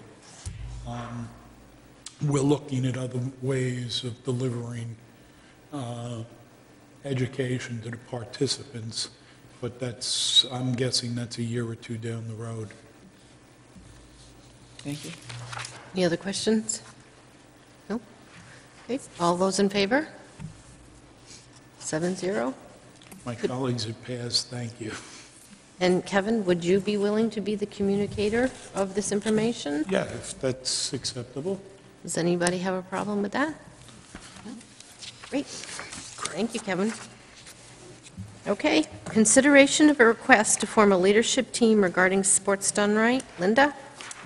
Uh, Stu Weatherby was kind enough to get together some of, the- one of the founders as well as one of the other um, coordinators for the Sports Done Right program, and they gave, gave us presentation early last month, and we had invited school board members as well as some of the youth organization teams to come and listen to the presentation and get some of the documentation on what Sports Done Right was all about. Um, It was really quite an interesting evening. And after, towards the end of the evening, um, they were really kind of pushing to see if this was a program we were willing to take on. Well, the first step in that whole process is to start developing a leadership team, to start educating all of the citizens in Cape Elizabeth, um, you know, where we all work under this one-town con, one-town concept. This program will fit very well into um, the scheme of things here in Cape Elizabeth, where we want to involve all of the citizens in town, uh, all of the youth organizations, not just our athletic and extracurricular programs at the schools. Uh, We really want to involve all of the athletics townwide. Um, And so I would like to, I presented a draft motion to the board members ahead of time, just so everybody knew it was coming. But I would like to move that the Cape Elizabeth School Board approve the formation of a leadership team to develop and implement an action plan for adopting the Sports Done Right philosophy in Cape Elizabeth. The team would be comprised of parents, student athletes, a school board member, educators, coaches, and community members. Thank you. Is there a second? Second. Thank you. Becca? Discussion, questions? I think based on other policy, Linda, that perhaps the process here is for people uh, to be nominated to your committee, and your committee comes forward with a recommendation that Kathy can present to the full Correct. board for approval. Right. We Other just than- wanted to take the first step in the process. Yeah, exactly. And based on that, Other questions, comments? No? All those in favor? Great, seven zero. Thank you, Linda. Flip the paper over, okay. Moving on to committee reports, standing committees. Uh, Finance Committee, Rebecca? The Finance Committee met on Wednesday, January 24th at 8:30 in the Superintendent's office. Um, Kevin, Linda, and I attended the meeting, as well as Alan, Pauline, and Kathy. We signed warrants, we reviewed the energy report. The committee noted the high amount of oil delivery in December. Pauline explained that the district took two deliveries that month before the price went up to the contract amount of $2.01. The food service report was reviewed. The revenue for December returned to normal, and the year-to-date total revenue for this year is roughly 200,000 as compared to 213 for last year at this time. We're going to continue to keep an eye on this and see where the trend, what the trend is. Uh, Pauline also explained uh, to us that every year Cape Elizabeth receives a refund of excess contributions from the MSMA Unemployment Trust Fund, the amount of $5,858, which is around what the district received last year. Um, These funds are placed in the miscellaneous revenue account and goes into an undesignated fund balance. Uh, We discussed uh, a little bit about consolidation and the idea that perhaps it would be good to contact other school districts to see how they were going to respond to this initiative. And Kathy said she would call um, some of the other school board chairs. Subsequently learned that Falmouth, North Yarmouth, Yarmouth, Cumberland, Freeport, Gray. Gray, Gray, really? Gray New Gloucester. Gray and Gloucester are, have been having conversations around possible consolidation um, efforts, and we weren't invited. So it didn't go very far. Um, Our next Finance Committee meeting will be held Wednesday, February 28th at 8:30 in the superintendent's office. And that is Oh. February 28th or 27th? I don't know. Um, Just. Yes, uh, if, if indeed Wednesday is the 27th, that would be the correct date. Wednesday's the 28th. Wednesday's the 28th, so is Okay. it, is it Wednesday, the 28th, or Tuesday, the 27th? Oh. You can think about that. I don't have my calendar. I believe it's Wednesday, the 28th, but I will confirm and let everybody know. Okay. Okay?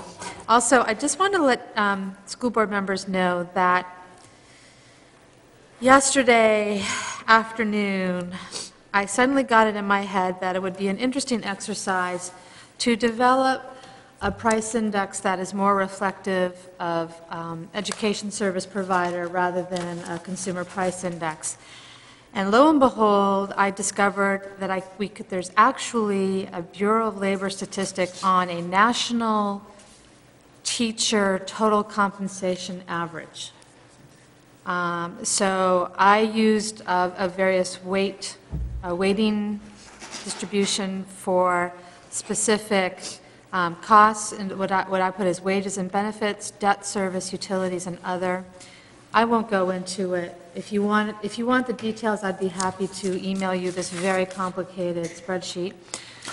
Um, But it was an interesting exercise. I, I went, I, I was very conservative in the numbers that I used, and interestingly enough, I came up with a 3.39% uh, index, price index.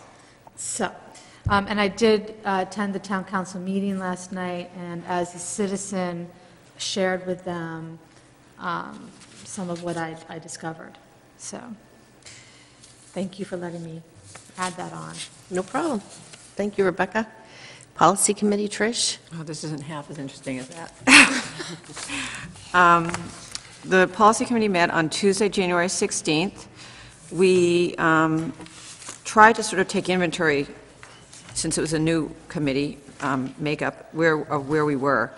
Policies, the remaining policies in um, Section C, which is administration, we did CA, CA and CB tonight, and um, CHCA, which will, we spoke tonight, policy CBI, which is evaluation of the superintendent, was with the Personnel Committee for review. Um, I think we'll have that at our February meeting with recommendations from them.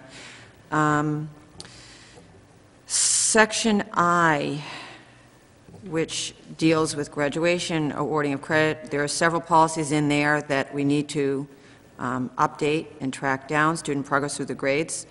Section E, which is, uh, deals with support services, pest management, hazardous substances, traffic and parking and maintenance. Those um, have been, will be reviewed by Pauline, Sue, and Ernie in, in part, and they will report back to the policy committee. And we also um, distributed several samples of naming rights and advertising in schools, which is an issue that came up earlier. And we're going to be taking a look at those in um, February when we meet. And that is it. Our next meeting is Thursday, March 1st at 12:15. And that's originally rescheduled, I should add, and I thank the policy committee people for their flexibility. I would- have been invited to attend a meeting at Drummond and Woodsum on our original meeting date. Um, It's policy committee chairs from all over Greater Portland, and I think it'll be really interesting, so I thought it was worthy of rescheduling, particularly in light of sort of consolidation issues and things that are going on. So thank you for those people who rescheduled their calendar for that. Thank you, Trish. Communications Committee, Trish? Um, We just met yesterday, and we spent most of the meeting discussing um, The View, the up, the next edition of The View. Um, Going over some of the topics, now let me find that note. Uh, We brainstormed a couple topics. We also talked about, we're hoping to have that out by the beginning of April, subsequent to um, the budget hearing, and hopefully Alan will be back. This is really Alan's publication, but he sort of asked the Communications Committee to get it up and running in his absence. We talked a little bit about professional development reporting on the school website, which was an initiative that had started a couple months ago. And there are some kinks that need to be worked out on that and really sort of how it can best be used and presented on the web. Um, We worked out some logistics with, is a new committee, um, grouping some logistics in terms of reporting school, getting school news out to the media. And we are going to sort of revisit the charges and the goals of the committee to sort of see what progress we've made and where we should go. Um, Our next meeting is Monday, April 9th. Thank you, Trish. Personnel Committee, Linda? Uh, The Personnel Committee met on January 18th. Um, Myself, Kevin, Peter, uh, were all present along with Pauline and Dominic, who presented all of the job descriptions that we just approved this evening. And again, uh, we would like to thank him very much. Uh, He did a total rewrite on all of the job descriptions that we had prior to this, and, and really focused on making sure they were specific to the positions that were available, not necessarily the individuals within the positions. Um, Those were for his own position, as well as uh, a lot of his staff members. Uh, He provided a lot of clarification on the two administrative assistant positions that he has. One is a secretarial position that is a year-round, er, is indeed a year-round position. Um, The other administrative position does more of the database work uh, and the coordination, reporting, and distribution of all the internal and external information regarding special services. Uh, Dominic is still currently working on some of the other job descriptions that we're hoping to be discussing, if not in our next meeting, then the following meeting, for speech and language uh, therapists, psychological services, social worker, and so forth. Uh, We're also looking for Alan's return. We do have some job descriptions that we have tabled for the time being uh, regarding teachers and evaluation forms for teachers, which we really need Alan's input for, so those have been tabled until his return.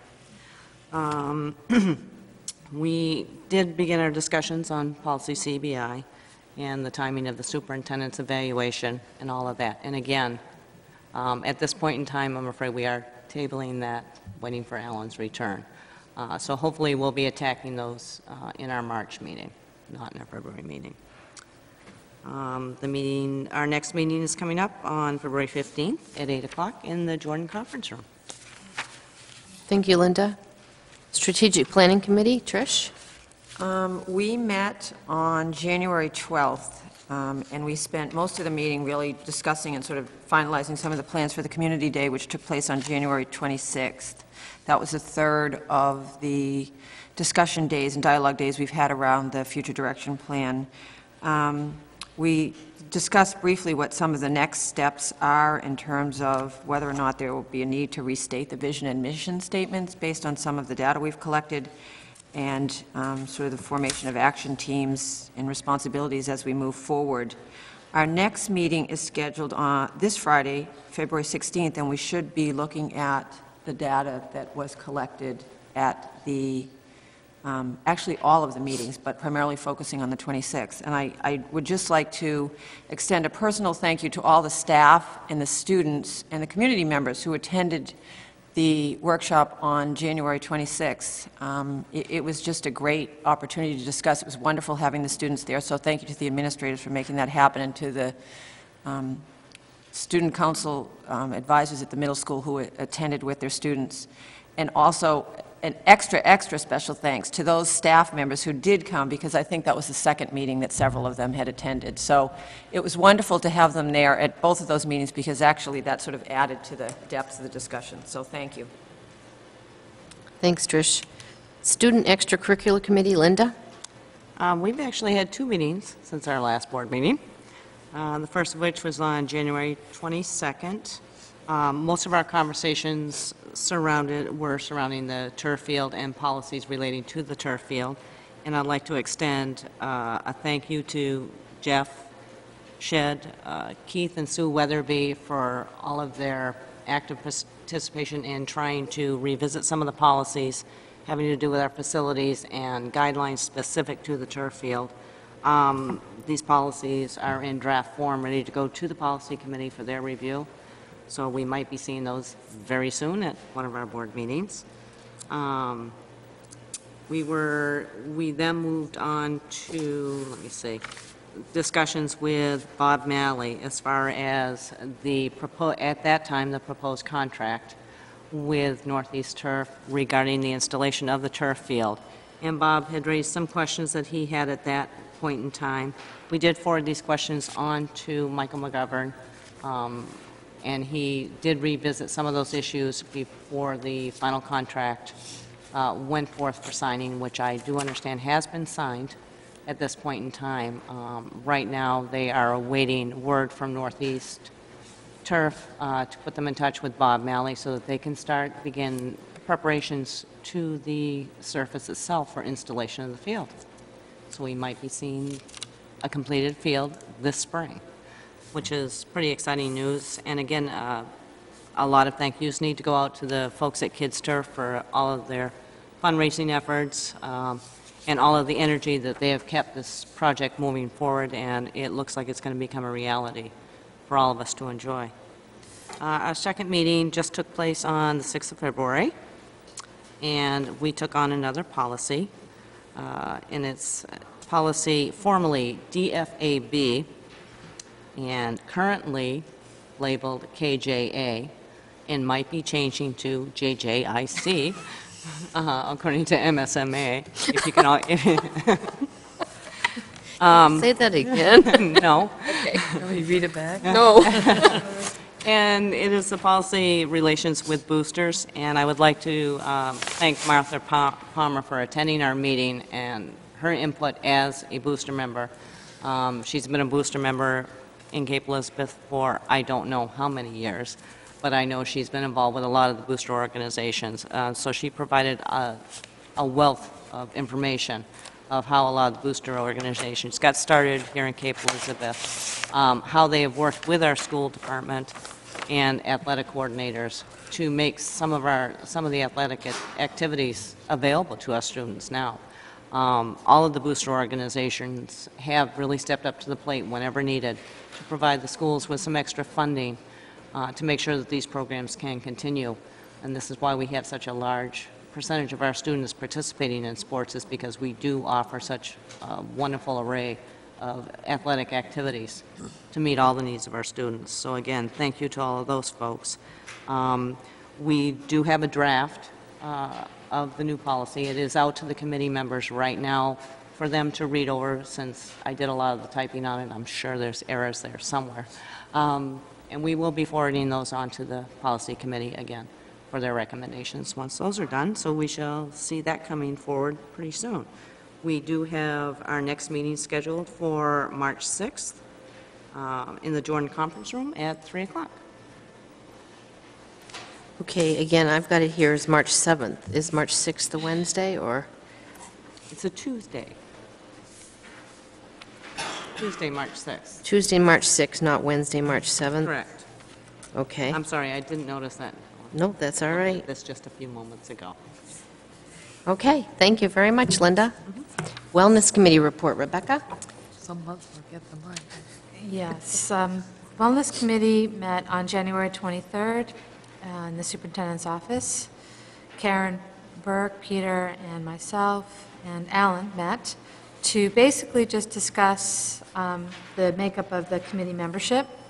And to date, the following have agreed to serve on the committee, from school administration, Stu Weatherby, um, and the principals or assistant principals as needed.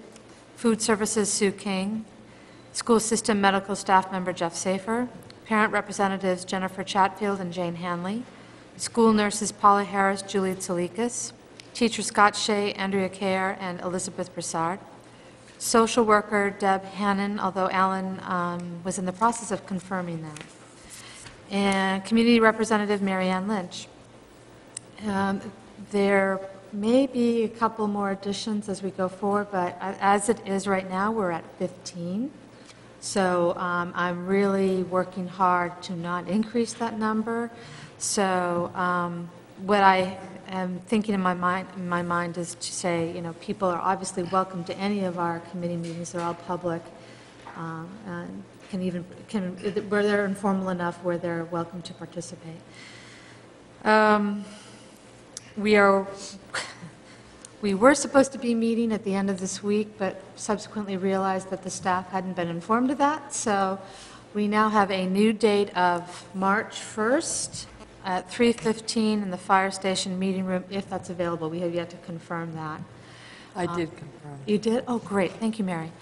Uh, Also want to mention that uh, Karen had s- set up um, an amazing meeting, which I attended with her, with folks from Let's Go. Um, It's the Greater Portland Wellness Initiative that was convened by United Way, and um, they are pretty serious about making things happen. They have a lot of resources, including financial. They seem very interested in working with Cape Elizabeth. Um, So I would imagine us um, convening the first committee just to kind of get to know each other and then quickly move into action mode and, and calling these folks to help us make this a reality. So I thank you to Karen for um, putting this meeting together. Great. All set? Thank you, Rebecca. Uh, Kevin, did you want to add anything additional on PATHS? No report. No report, okay. Linda, would you like to add anything additional on the Technology Committee? I think Gary covered it pretty well. Okay. Um, Public comment? I'm sorry, um, there's one thing as the leg- legislative liaison. Um, I just happened to notice that there are two bills that are going to be discussed, and they're in opposition to each other, but it's a topic that Connie Goldman had mentioned last year was going to come up, and sure enough, it has. And it's the um, effort to make all of Maine one market, which would, uh, um, for cost of living adjustments, I believe. And there's a, there's a movement in northern Maine to say that we are all one market and that southern Maine doesn't need to have, need to be compensated for higher costs of living in terms of our salaries that we pay to our teachers. So there's one bill that says we want it to be one market, and then there's one bill that says we will, it should not be one market. Um, I urge everybody to take a look at that, and um, I think I'll try to put something together for us to convey to our legislators, because this will impact how much money we receive as a district, correct, Polly? I'm not familiar with the bills, but I'm interested in. Okay. Yeah, I think it does impact us in the EPS formula and how much money we would get. So, Thank you, Rebecca. Well, thank you to Connie for having the foresight last year to, to know that this was probably coming our way. Um, Back to public comment. I see no public members, although I did want to just mention, well, excuse me, except for us. Um, I did want to just mention, too, that I had forgotten to thank the staff members that went to the um, Augusta um, Consolidation Public um, I don't know. what- Hearing. Hearing, I guess hearing, thank you, public hearing. And um, Sarah Simmons, Pauline Aportria, Dominic DePatsy, and Stu Weatherby all went to Augusta, um, and we ran into them during the period of the day. And I know that uh, Dominic um, actually testified, and I don't know, did anybody else, Pauline? No. Dominic testified, and unfortunately, he was in one room and we were in the other room, but I understand he did a terrific job, and just wanted to thank him for that. Um, School board agenda requests. Anybody have any requests? No? Okay, announcement of upcoming meetings. I've been trying to write down as people have been telling me the different ones, but you can tell me that I'm wrong again. Uh, Communication Committee is meeting Monday, April 9th, 2007, at 3 PM in the Pond Media Center. Wellness Committee is meeting Thursday, March 1st, at 3:15 PM in the Fire Station Meeting Room. The Calendar Committee is meeting Monday, February 26, 2007, at 3 PM in the Middle School Conference Room, which is across from the main office. School Board Workshop is Tuesday, February 27th, 7 PM, High School Library. The topic will be the state of the schools for and Middle School. The Student Extracurricular Committee will be meeting Tuesday, March 6th, uh, from 3 to 4 PM in the William Jordan Conference Room. Personnel Committee will be meeting Thursday, February 15th at 8 a.m. in the Jordan Conference Room. Strategic Planning Committee is meeting Friday, February 16th at 12:45 PM in the Superintendent's Office. Policy Committee Committee meeting will be Thursday, March 1st at 12:15 in the William Jordan Conference Room. Finance Committee meeting is somewhat unknown at this moment. Is that somewhere between February 26th and February 28th? And Rebecca will be getting back to us on that. And the next school board business meeting will be Tuesday, March 13th at 7 PM in the council chambers. Have I left anything out? No? Do I have a motion to adjourn? You do. Second. Jump right in there. A- Any discussion? All in favor? Seven zero. Thank you very much. Thanks for the phone call. Yeah, you're welcome.